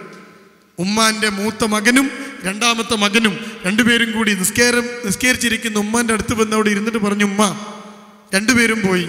ഇനി ഇങ്ങോട്ട് വരുന്നില്ല എന്നാണ് കേട്ടത്. പക്ഷേ അവർ ഇനി ഇവിടെ വരണമെങ്കിൽ നിങ്ങളെ ഇളയ മകൻ ഇവിടെ ഉണ്ടാവരുത്. ഞങ്ങളിവിടെ നിൽക്കണോ? ഇളയ മകൻ നിൽക്കണോ എന്ന് ഉമ്മ തീരുമാനിച്ചോ? അവൻ ഇവിടെ നിൽക്കുകയാണെങ്കിൽ ഞങ്ങളിവിടെ നിൽക്കൂല. അവൻ നിൽക്കുന്നില്ലെങ്കിൽ ഞങ്ങൾ വരാം. ഒരു ഉമ്മയോട് ചോദിക്കുക. ഉത്തരം മുട്ടിയപ്പോഴാണ് ഉമ്മ പറഞ്ഞത് ആരെങ്കിലും ഒരു സഹായം തേടണം. ബാപ്പാനെ ഗൾഫിലേക്ക് വിളിച്ചിട്ട് ഉമ്മ പറഞ്ഞു ടിക്കറ്റ് എടുത്തു വാ. കുടുംബം തകർന്നു തരിപ്പണമായി. ബാപ്പ ടിക്കറ്റ് എടുത്ത് നാട്ടിൽ വന്നപ്പോഴാണ് എന്നെ കാണാൻ വന്ന്. ഈ ചെറുക്കനെ മുമ്പിൽ വിളിച്ചിരുത്തി പതിനേഴ് വയസ്സുകാരനെ മുന്നിൽ വിളിച്ചിരുത്തിയിട്ട് ഞാൻ ചോദിച്ചു എന്ത് വൃത്തിയോടാണ് നീ കാണിച്ചേ? നിങ്ങൾക്കറിയോ? ആ പതിനേഴുകാരൻ എന്നോട് പറഞ്ഞു ഈ പെണ്ണ് കുളിക്കുന്നത് മാത്രമല്ല ഞാൻ നോക്കിയത്. മൂത്ത ഏട്ടന്റെ ഭാര്യ കുളിക്കുന്നതും ഞാൻ ഒളിഞ്ഞു നോക്കിയിട്ടുണ്ട്. എന്റെ രണ്ട് പെങ്ങന്മാർ കുളിക്കുന്നതും ഞാൻ ഒളിഞ്ഞു നോക്കിയിട്ടുണ്ട്. ഞാൻ ചോദിച്ചു എന്തിനാടാ ഉമ്മയെ മാത്രം വെറുതെ വിട്ടത്? ചിന്തിച്ചു നോക്ക്. ഇനിയാണ് എന്റെ മുമ്പിലിരിക്കുന്ന എന്റെ പ്രിയപ്പെട്ട കുടുംബങ്ങൾ ചിന്തിക്കേണ്ടത്. ഇതെന്തെങ്ങനെ? ഈ മക്കളെന്തെങ്ങനെ? അപ്പൊ ഈ ചെറുക്കനോട് ഞാൻ ചോദിച്ചു എവിടുന്നാണ് നിനക്ക് ഈ വൃത്തികെട്ട സ്വഭാവം കിട്ടിയത്? എന്റെ ശബ്ദം കേൾക്കുന്ന ആൺകുട്ടികൾ ഉമ്മമാർ അവരുടെ വാപ്പമാരൊക്കെ ശ്രദ്ധിച്ചോ?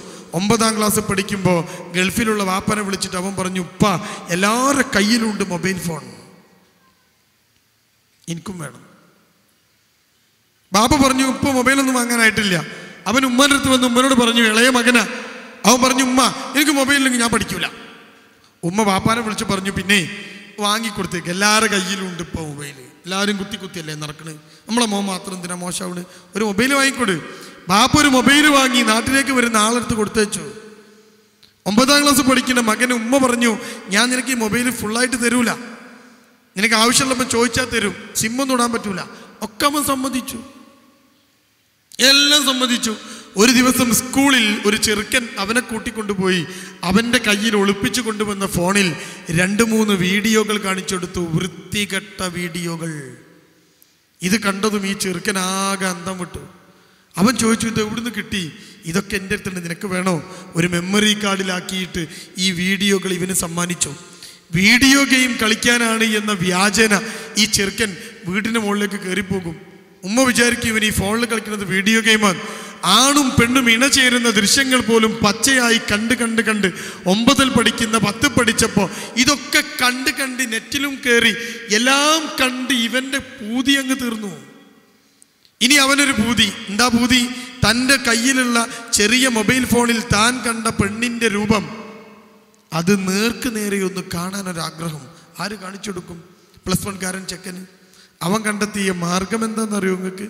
സ്വന്തം ഏട്ടന്റെ ഭാര്യ കുളിക്കുന്നതും പെങ്ങന്മാർ കുളിക്കുന്നതും ഒളിഞ്ഞു നോക്കുക എന്ന മാർഗം. ഒരു മനുഷ്യന്റെ മനസ്സ് എത്ര മലീമസപ്പെട്ടു പോയി എന്ന് ആലോചിച്ച് നോക്കൂ നിങ്ങൾ.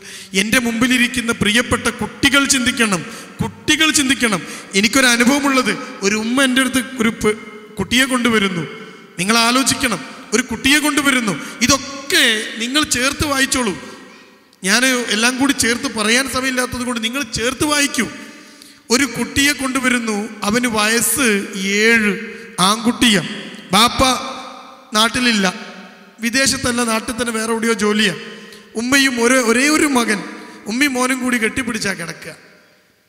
ഒരു ദിവസം ഉമ്മ കിടന്നിട്ട് എണീറ്റ് നോക്കിയപ്പം ഉമ്മ ധരിച്ച നൈറ്റി മാക്സി ഇങ്ങനെ കയറ്റി വെച്ചിട്ടുണ്ട്. അപ്പൊ ഉമ്മ ഇങ്ങനെ വിചാരിച്ചു അയ്യോ ഇതാരെങ്ങനെ കയറിയതെങ്ങനെ ഇനി കിടന്നപ്പം കയറിപ്പോയതായിരിക്കും. ഉമ്മ അതൊക്കെ റെഡിയാക്കിയിട്ട് മോന്റെ കൂടെ അവിടെ കിടന്നു.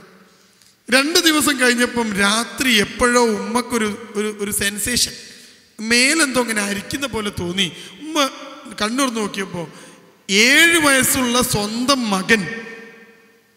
ആ ഉമ്മ പെറ്റ മകൻ. ഉമ്മാന്റെ മാക്സിങ് ഇങ്ങനെ കയറ്റുക ഇതൊക്കെ പറയാൻ പറ്റുമോ നിങ്ങളോട്? ഇതൊക്കെ കേൾക്കുമ്പോൾ നിങ്ങൾ എന്താ വിചാരിക്കണേ എനിക്കറിയില്ല. ഉമ്മ ആകെ സ്റ്റണ്ടായി. ഇതെന്താ ഇങ്ങനെ? ഉമ്മ ഉടൻ മാക്സിയൊക്കെ കയറ്റി മോനെ കയറ്റി പിടിച്ച് കെട്ടിപ്പിടിച്ച് കിടന്നു. വേറെന്തോ അവൻ ഉറക്കത്ത് ചെയ്തതായിരിക്കും. ഉമ്മ ആശ്വസിച്ചു. രണ്ടു ദിവസം കഴിഞ്ഞപ്പോൾ വീണ്ടും ഇപ്പൊ ഉമ്മക്ക് മനസ്സിലായി. അതിനുശേഷം ചുരിദാറിന്റെ കാൽ അത് മാക്സിക്കടിയിലിട്ട് കെട്ടി മുറുക്കി. നിങ്ങൾക്കറിയില്ലേ? അതൊരൊറ്റ വലി വലിച്ചാൽ അഴിയുന്ന കെട്ടല്ലേ നമ്മൾ കെട്ടുക. പക്ഷെ ഉമ്മ അങ്ങനത്തെ കെട്ടല്ല കെട്ടുക. അതൊക്കെ കെട്ടിയിട്ട് സ്വന്തം ഏഴ് വയസ്സുള്ള മകന്റെ കൂടെ ഇങ്ങനെ മാത്രം കെട്ടിക്കിടക്കേണ്ട ഗതികേടുകൾ ആലോചിച്ചു നോക്ക്. എന്നാലോചിച്ചു ഈ ചെക്കനെയും കൊണ്ട് എന്റെ അടുത്ത് വന്നിട്ട് ഈ ഉമ്മ ചോദിക്കുന്ന ചോദ്യം എന്താ പറയുക സാറേ ഏഴ് വയസ്സൊക്കെ ആകുമ്പോൾ ഒരു കുട്ടിക്ക് ലൈംഗിക വികാരമൊക്കെ ഉണ്ടാവും. ഞാൻ പറഞ്ഞു ഒരിക്കലും ഉണ്ടാവില്ല. നെവർ അമ്മ ചോദിച്ചു അല്ല നിങ്ങൾ ഒന്നുകൂടെ ഒക്കെ ഒന്ന് വായിച്ചു നോക്ക്. നിങ്ങൾ പഠിച്ചോടത്തോട് ആ അതെടുത്ത ക്ലാസ്സിൽ നിങ്ങൾ കയറാത്തേറ്റായിരിക്കും അങ്ങനല്ല. ഞാൻ പറഞ്ഞു ഒരിക്കലും സാധ്യതയില്ല. സാധ്യത വളരെ കുറവാണ് മെച്യൂരിറ്റി വരാതെ ആ രൂപത്തിൽ ഒരു കുട്ടി ചിന്തിക്കില്ല. ഒരു പത്ത് വയസ്സെങ്കിലും ആവാതെ ഇത് ഏഴ് വയസ്സാകുന്നേ ഉള്ളൂ കുട്ടിക്ക്. രണ്ടാം ക്ലാസ്സിലേക്ക് എത്തിയിട്ടേ ഉള്ളൂ. ആറ് വയസ്സ് കഴിഞ്ഞിട്ടേ ഉള്ളൂ. അപ്പൊ ഞാൻ ചോദിച്ചു എന്താ നിങ്ങൾ ചോദിക്കാൻ? ആ ഉമ്മ കാര്യം പറയില്ല. പിന്നെ ഉമ്മ പറയണു അല്ല ഉണ്ടാവും. എക്സംഷണൽ കേസൊക്കെ ഉണ്ടാവില്ലേ സാർ ഏതെങ്കിലും കുട്ടിക്ക്? ഞാൻ പറഞ്ഞു നിങ്ങളുടെ കുട്ടിയെ നിങ്ങൾ വിളിക്കുക ഞാനൊന്ന് നോക്കട്ടെ. നോക്കിയപ്പോൾ ഒരു ചെറിയ ചെറുക്കൻ. ഞാൻ പറഞ്ഞു അവന് വളർച്ചയൊക്കെ കുറവാ അങ്ങനൊന്നും പറയാൻ പറ്റൂല. എന്താ പ്രശ്നം? അപ്പോഴാ ഉമ്മ പറഞ്ഞ് അപ്പൊ ഉമ്മ പറഞ്ഞു സാർ അവനോടൊന്ന് സംസാരിക്കോ. ആറു വയസ്സുള്ള കുട്ടിയോട് എന്താ സംസാരിക്കേണ്ടേ? ഞാൻ പറയണത് അവനും അവൻ പറയണത് എനിക്കും മനസ്സിലാവുമോ എങ്ങനെയാ കൗൺസിലിംഗ് നടത്തേണ്ടത് അവനോട് ഞാൻ കുറേ കാര്യങ്ങളൊക്കെ ഇങ്ങനെ ചോദിച്ച് ചോദിച്ച് ചോദിച്ച് കുറേ സോപ്പൊക്കെ ഇട്ട് പാട്ടൊക്കെ പാടിച്ച് ഇങ്ങനെ ഇരുന്നപ്പോൾ ആ കുട്ടിയോട് ഞാൻ പറഞ്ഞു മോനെ എന്താ മോനെ ഏറ്റവും ഇഷ്ടപ്പെട്ടത്? അവൻ പറഞ്ഞു ടാബ്. ടാബോ? ആ. നിനക്ക് ടാബ് ഉണ്ടോ? പിന്നെ എന്റെ വാപ്പ എനിക്കൊരു ടാബ് കൊണ്ട് തന്നിട്ടുണ്ട്. ഞാൻ പറഞ്ഞു എവിടെ നിന്റെ ടാബ്? ഉമ്മന്റെ അടുത്തുണ്ട്. ഒന്ന് വാങ്ങിക്കൊണ്ടു വാ ഉമ്മ അവൻ ഡോർ തുറന്ന് പുറത്ത് പോയിട്ട് ഉമ്മനോട് പറഞ്ഞു ഉമ്മ ടാബ് താ. ഉമ്മ ടാബ് കൊടുത്തു. അവൻ അതും കൊണ്ട് സാംസങ്ങിന്റെ ടാബാ എന്റെ അടുത്ത് വന്നു ഒരു കുട്ടിക്ക് ടാബ് വാങ്ങി കൊടുക്കാവോ? എന്ന ചോദ്യത്തിന് ഞാൻ പിന്നീട് ഉത്തരം പറയാം. കേട്ടോ? അപ്പോൾ ആ കുട്ടി ആ ടാബ് ആ കുട്ടി കൊണ്ടു തന്നു ഞാൻ ആ ടാബിൽ നോക്കി ഒരുപാട് ഗെയിമുകൾ നിറയെ ഗെയിമുകൾ ഗെയിമുകൾ ഇങ്ങനെ നിറഞ്ഞു നിൽക്കുകയാണ് കുട്ടിക്ക് കളിക്കാൻ. വേറെ പ്രത്യേകിച്ചൊന്നുമില്ല. പക്ഷെ അതിനൊരു സോഫ്റ്റ്വെയർ ഉണ്ട്. എക്സെന്റർ എന്നാണ് പേര്. ഇതൊക്കെ പരിചയം ഉണ്ടാവും. ഇമ്മമാർക്ക് ആർക്കും പരിചയമില്ലെങ്കിൽ കുട്ടിയോട് ചോദിച്ചാൽ മതി. സോഫ്റ്റ്വെയറിന്റെ പേര് അതാണ് എക്സെന്റർ ആ സോഫ്റ്റ്വെയർ എന്തിനാണെന്നറിയോ? വേറെ ഒരു കുട്ടിയുടെ കയ്യിലുള്ള ഫോണിൽ ടാബിലുള്ള വിവരങ്ങൾ അല്ലെങ്കിൽ ഗെയിം വീഡിയോ ഓഡിയോ ഒക്കെ എന്റെ ഫോണിലേക്ക് നെറ്റൊന്നും ഇല്ലാതെ ബ്ലൂടൂത്ത് പോലെ അയക്കാൻ വേണ്ടിയുള്ള സോഫ്റ്റ്വെയറാണ് എളുപ്പത്തിൽ സെൻഡ് ചെയ്യാൻ പറ്റും. എന്റെ ഫോണിലുള്ളത് എളുപ്പത്തിൽ മറ്റേ ഫോണിലേക്ക് സെൻഡ് ചെയ്യാൻ പറ്റും. ഇവന്റെ കയ്യിലും എക്സെൻഡർ എന്ന സോഫ്റ്റ്വെയർ ഉണ്ട്. ഞാൻ എക്സെൻഡർ എന്ന സോഫ്റ്റ്വെയറിൽ പോയിട്ട് അതിന്റെ സെൻഡ് ഐറ്റത്ത് പോയി സെറ്റപ്പ് പോയിട്ട്. സെൻഡ് ഐറ്റത്ത് പോയപ്പോൾ ഒരുപാട് സാധനങ്ങൾ സെൻഡ് ചെയ്തിട്ടുണ്ട്. ഒരുപാട് സാധനങ്ങൾ അവർ റിസീവ് ചെയ്തിട്ടുണ്ട്. ഈ സെൻഡ് ചെയ്ത് റിസീവ് ചെയ്ത ഐറ്റത്തൊക്കെ ഇങ്ങനെ പരിശോധിച്ച് നോക്കിയപ്പോൾ അതിലൊരു വീഡിയോ കിടക്കുന്നു. അവന് റിസീവ്ഡ് ഐറ്റത്തിൽ ഒരു വീഡിയോ കിടക്കുന്നു. വീഡിയോ ഞാൻ തുറന്നു നോക്കിയപ്പം ലിങ്കില്ല ആ വീഡിയോ ഓപ്പൺ ആവില്ല അത് ഡിലീറ്റഡ് ആണ്. ഉടൻ ഞാൻ വീണ്ടും സ്ക്രോൾ ചെയ്തു. വീണ്ടും അതാ കിടക്കുന്ന ഒരു വീഡിയോ അത് ഞാൻ ഓപ്പൺ ആക്കി നോക്കിയപ്പം വീഡിയോ ഓപ്പൺ ആയി. ഞാൻ നേരത്തെ പറഞ്ഞ വൃത്തികെട്ട ഒരു വീഡിയോ ഏഴ് വയസ്സുള്ള രണ്ടാം ക്ലാസ്സുകാരന്റെ ടാബിലാത് ഉടൻ ഞാൻ ഈ ചെറുക്കനോട് ചോദിച്ചു എടാ നിന്റെ ഫോണിലേക്ക് എക്സെന്ററിലേക്ക് ആരെങ്കിലും അയച്ചിരുന്നു എന്തെങ്കിലും? അപ്പോൾ അവൻ പറഞ്ഞു ആ അയക്കാറുണ്ട്. പലരും അയക്കാറുണ്ട്. ഇപ്പം അടുത്ത് നീ എവിടെങ്കിലും പോയപ്പോൾ ടാബ് കൊണ്ടുവരുന്നോ. ഉണ്ട്. അപ്പോൾ അവന്റെ ഏതോ കുടുംബത്തിൽ എന്തോ പ്രോഗ്രാമിന് പോയപ്പോൾ അവൻ ടാബ് കൊണ്ടുപോയിട്ടുണ്ട്. കാരണം എന്താ? ഈ പിള്ളേർ വല്ലാതെ വെറുപ്പിക്കും. അപ്പോൾ ടാബ് കൊണ്ടുപോയി കഴിഞ്ഞാൽ അത് കൊടുത്താൽ പിന്നെ അവിടെ ഇരുന്നോളും. ഈ പേപ്പറിന് മുകളിൽ വെയിറ്റ് ഒക്കെ എന്താ? മൊബൈലാണ് കൊടുത്താൽ പിന്നെ ഒരു കുട്ടീനെ കൊണ്ട് ഒരു ഇടങ്ങേറുണ്ടാവില്ലല്ലോ നിങ്ങൾ കണ്ടില്ലേ? സോഫ മേലിരുത്തി മൊബൈലാണ് കൊടുത്താൽ നിങ്ങൾ ഇനി രണ്ടു ദിവസം കഴിഞ്ഞ് തിരിച്ചു വന്നാലും മൊബൈൽ ചാർജ് ചെയ്താൽ മതി. രണ്ടു ദിവസം കഴിഞ്ഞ് തിരിച്ച് കുട്ടി അടുത്തുണ്ടാവും കുട്ടിക്ക് ഭക്ഷണം കഴിക്കേണ്ട വെള്ളം കുടിക്കേണ്ട അപ്പി ഇടേണ്ട മൂത്രം ഒഴിക്കണ്ട. ഇതൊക്കെ മൊബൈലിൽ ചെയ്യും. അല്ലേ? അപ്പൊ ഉമ്മ എപ്പോഴും ടാബ് കൊണ്ടാ നടക്കുക. എന്നെ കാണാൻ വന്നപ്പോഴും ടാബ് ഉണ്ട്. കാരണം എന്താ? അവിടെ നിന്ന് വെറുപ്പിക്കുകയാണെങ്കിൽ ഇതാണ് കൊടുത്താൽ മതി. നോക്ക് നിങ്ങൾ അപ്പൊ ഈ കുട്ടി ഏ, ഞാൻ ചോദിച്ചു പോകാൻ പറഞ്ഞു ഞാൻ പോയിട്ടുണ്ട്. എന്നിട്ട് അവിടുന്ന് നിനക്ക് ആരെങ്കിലും വീഡിയോ അയച്ചിരുന്നു? അപ്പോൾ ആ ചെറുക്കൻ പറഞ്ഞുണ്ട് എന്റെ ടാബ് വാങ്ങിയിട്ട് ഒരു കാക്ക പ്ലസ് വണ്ണിന് പഠിക്കുന്ന ഒരു കാക്ക എന്റെ ടാബ് വാങ്ങി നോക്കി. അപ്പോൾ അതിൽ കുറേ ഗെയിമുണ്ട് എന്നിട്ട് അക്കാക്ക് എന്റെ ഫോണിൽ നിന്ന് കുറേ ഗെയിമായ അവന്റെ ഫോണിലേക്ക് അയച്ചു. ഞാൻ പറഞ്ഞു ഓക്കെ. എന്നിട്ടോ അയച്ചു കഴിഞ്ഞപ്പോൾ ഞാൻ പറഞ്ഞു നിന്റെ അടുത്ത് എന്തെങ്കിലും ഉണ്ടെങ്കിൽ എനിക്കും താ. ഉടൻ ആ കാക്ക കുറേ ഗെയിം എന്റെ ഫോണിലേക്ക് അയച്ചു. ദാറ്റ്സ് ഓൾ നിങ്ങൾക്ക് അറിയാലോ നമ്മളിപ്പോൾ ഒരു സാധനം വാട്സപ്പൊക്കെ അയക്കുമ്പോൾ ഈ കുടുംബ സംഗമത്തിന്റെ ഫോട്ടോ നിങ്ങളെ ഫോണിലെടുത്ത് വാട്സപ്പൊക്കെ അയക്കുമ്പോൾ നിങ്ങൾ ചെയ്ത് ഒരു ഫോട്ടോ സെലക്ട് ചെയ്ത് അത് സെൻഡ് ചെയ്യും. പിന്നെ ഒരു ഫോട്ടോ സെലക്ട് ചെയ്ത് അത് സെൻഡ് ചെയ്യും. ഇങ്ങനെയാണോ? ഇങ്ങനെയാണോ? എന്താ ചെയ്യുക അയക്കാനുള്ള ഫോട്ടോ മൊത്തം അങ്ങോട്ട് സെലക്ട് ചെയ്യും പതിനഞ്ചെണ്ണം. ഒന്നായിട്ടാണ് സെൻഡ് ചെയ്യും. അല്ലേ? അങ്ങനെയല്ലേ അപ്പോൾ ഈ ചെറുക്കന്റെ ഫോണിലേക്ക് ഗെയിം സെൻഡ് ചെയ്തത് എങ്ങനെയെന്നറിയോ അതിങ്ങനെ ടിക്ക് ചെയ്തതാ. ഈ ടിക്ക് ചെയ്ത കൂട്ടത്തിൽ ഈ പ്ലസ് വണ്ണിന് പഠിക്കുന്ന കുട്ടീന്റെ ഫോണിൽ ഒന്ന് രണ്ട് വേണ്ടാത്ത വീഡിയോകൾ ഉണ്ടായിരുന്നു. അതും അതിന്റെ കൂടെ ശരിയിട്ട് പോയി. സെലക്ട് ചെയ്തപ്പോൾ സെൻഡ് ചെയ്തപ്പോൾ അതിന്റെ കൂടെ പൈസ ഒന്നും ചിലവില്ലല്ലോ. എക്സെൻഡർ അല്ലേ? ഇത് ഇതിന്റെ കൂടെ അങ്ങ് പോയി. വീട്ടിലെത്തിയിട്ട് കുട്ടി ഓരോരോ ഗെയിം ഇങ്ങനെ തുറന്നു നോക്കി. പുതിയ പുതിയ ഗെയിം നമ്മുടെ കുട്ടികളെ കണ്ടില്ലേ? പഴയ ഗെയിം മൂന്ന് ദിവസം കൊണ്ട് വെറുക്കും. പുതിയ ഗെയിം ഇങ്ങനെ തുറന്നു നോക്കിയ കൂട്ടത്തിൽ ഒരു വീഡിയോ കണ്ടു. അവൻ ആ വീഡിയോ തുറന്നു നോക്കി. തുറന്നു നോക്കിയപ്പോൾ ഇതാ വീഡിയോ. കൗതുകമുള്ള വീഡിയോ ആണ്. അവൻ അങ്ങനത്തെ വീഡിയോ കണ്ടിട്ടില്ല. ആ വീഡിയോ അങ്ങനെ കണ്ടു. കണ്ടു കഴിഞ്ഞപ്പോൾ തോന്നി ഇതൊരു വൃത്തികേടാണെന്ന്. അവൻ ഡിലീറ്റ് ചെയ്തു. പിന്നെയും ഗെയിമുകൾ കളിച്ചു. അടുത്ത വീഡിയോ അതവൻ ഡിലീറ്റ് ചെയ്യാൻ മറന്നു. അവണ്ടായി കിടന്നു. ഇനിയോ ആ വീഡിയോയിൽ കണ്ട പെണ്ണിന്റെ ശരീരം അങ്ങനെ തന്നെയാണോ എന്ന് ടെസ്റ്റ് ചെയ്യാൻ എന്റെ പ്രിയപ്പെട്ട ഉമ്മമാരെ അവന്റെ മുമ്പിലുള്ളത് ഉമ്മ മാത്രമാണ് വേറെ ആരില്ലല്ലോ അപ്പോൾ അവൻ എന്ത് ചെയ്തു? ഇതന്നെയല്ലേ ഒരു പെണ്ണിന് ഇങ്ങനെ ഉണ്ടാവുമോ ഇനി കമ്പ്യൂട്ടറിന് മണിറ്റ് ചെയ്യണോ? എന്നൊക്കെ നോക്കാൻ വേണ്ടി തിരഞ്ഞെടുത്ത പരീക്ഷണ വസ്തുവാണ് ഉമ്മ. ചിന്തിച്ചു നോക്കണം. അതുകൊണ്ട് എന്റെ പ്രിയപ്പെട്ട കുടുംബമായി ജീവിക്കുന്നവർ ചിന്തിക്കുക. നമ്മുടെ കുട്ടി കാണുന്നത് നമ്മുടെ കുട്ടി കേൾക്കുന്നത് നമ്മുടെ കുട്ടി കളിക്കുന്നത് ആ കുട്ടിയുടെ വ്യക്തിത്വമാണ് എന്ന ഓർമ്മ വേണം എന്റെ പ്രിയപ്പെട്ടവർക്ക്. നമ്മുടെ കുട്ടി കാണുന്നത് ആ കുട്ടിന്റെ വ്യക്തിത്വ. നമ്മുടെ കുട്ടി കേൾക്കുന്നത് കുട്ടിന്റെ വ്യക്തിത്വ. നമ്മുടെ കുട്ടി കളിക്കുന്ന കളി ആ കുട്ടിയുടെ വ്യക്തിത്വ. അപ്പൊ എന്റെ മുമ്പിലിരിക്കുന്ന കുടുംബങ്ങൾ ചിന്തിക്കണം എന്റെ വീട്ടിനകത്തുള്ള എന്റെ മക്കൾ എന്ത് കാണുന്നു എന്ന് ഉത്തരവാദിത്തമുണ്ട് കുടുംബങ്ങൾക്ക്. കണ്ടോ? ബാപ്പാന്റെ ഫോണിലെ വാട്സപ്പ് മുഴുവൻ മോന് കാണാനുള്ളതല്ല. അല്ല ഉമ്മാന്റെ ഫോണിലെ വാട്സപ്പ് മുഴുവൻ മോന് കാണാനുള്ളതല്ല. ഇനി ഒരു ചോദ്യത്തിന് ഇനി ഇടയിൽ ഉത്തരം പറഞ്ഞില്ലെങ്കിൽ പിന്നെ അത് കഴിഞ്ഞ് ഞങ്ങൾ ചോദിക്കും. മക്കൾക്ക് ഫോൺ കൊടുക്കാവോ? ടാബ് കൊടുക്കാമോ? ഞാൻ ഒരു അഞ്ചു കൊല്ലം മുമ്പ് ഞാൻ പ്രസംഗിക്കുമ്പോൾ പറയും കൊടുക്കരുത് ഒറ്റൊന്നിനും ടാബും ഫോണും കൊടുക്കരുത്. ഇപ്പൊ ഞാനത് പറയാറില്ല. ഇനിയും ഞാനത് പറഞ്ഞാൽ നിങ്ങൾ എന്നെ കല്ലെറിയും. ഈ ആധുനിക ലോകത്ത് നമുക്കൊരു കുട്ടിക്ക് ടാബ് കൊടുത്തൂടെ? കൊടുക്കാം.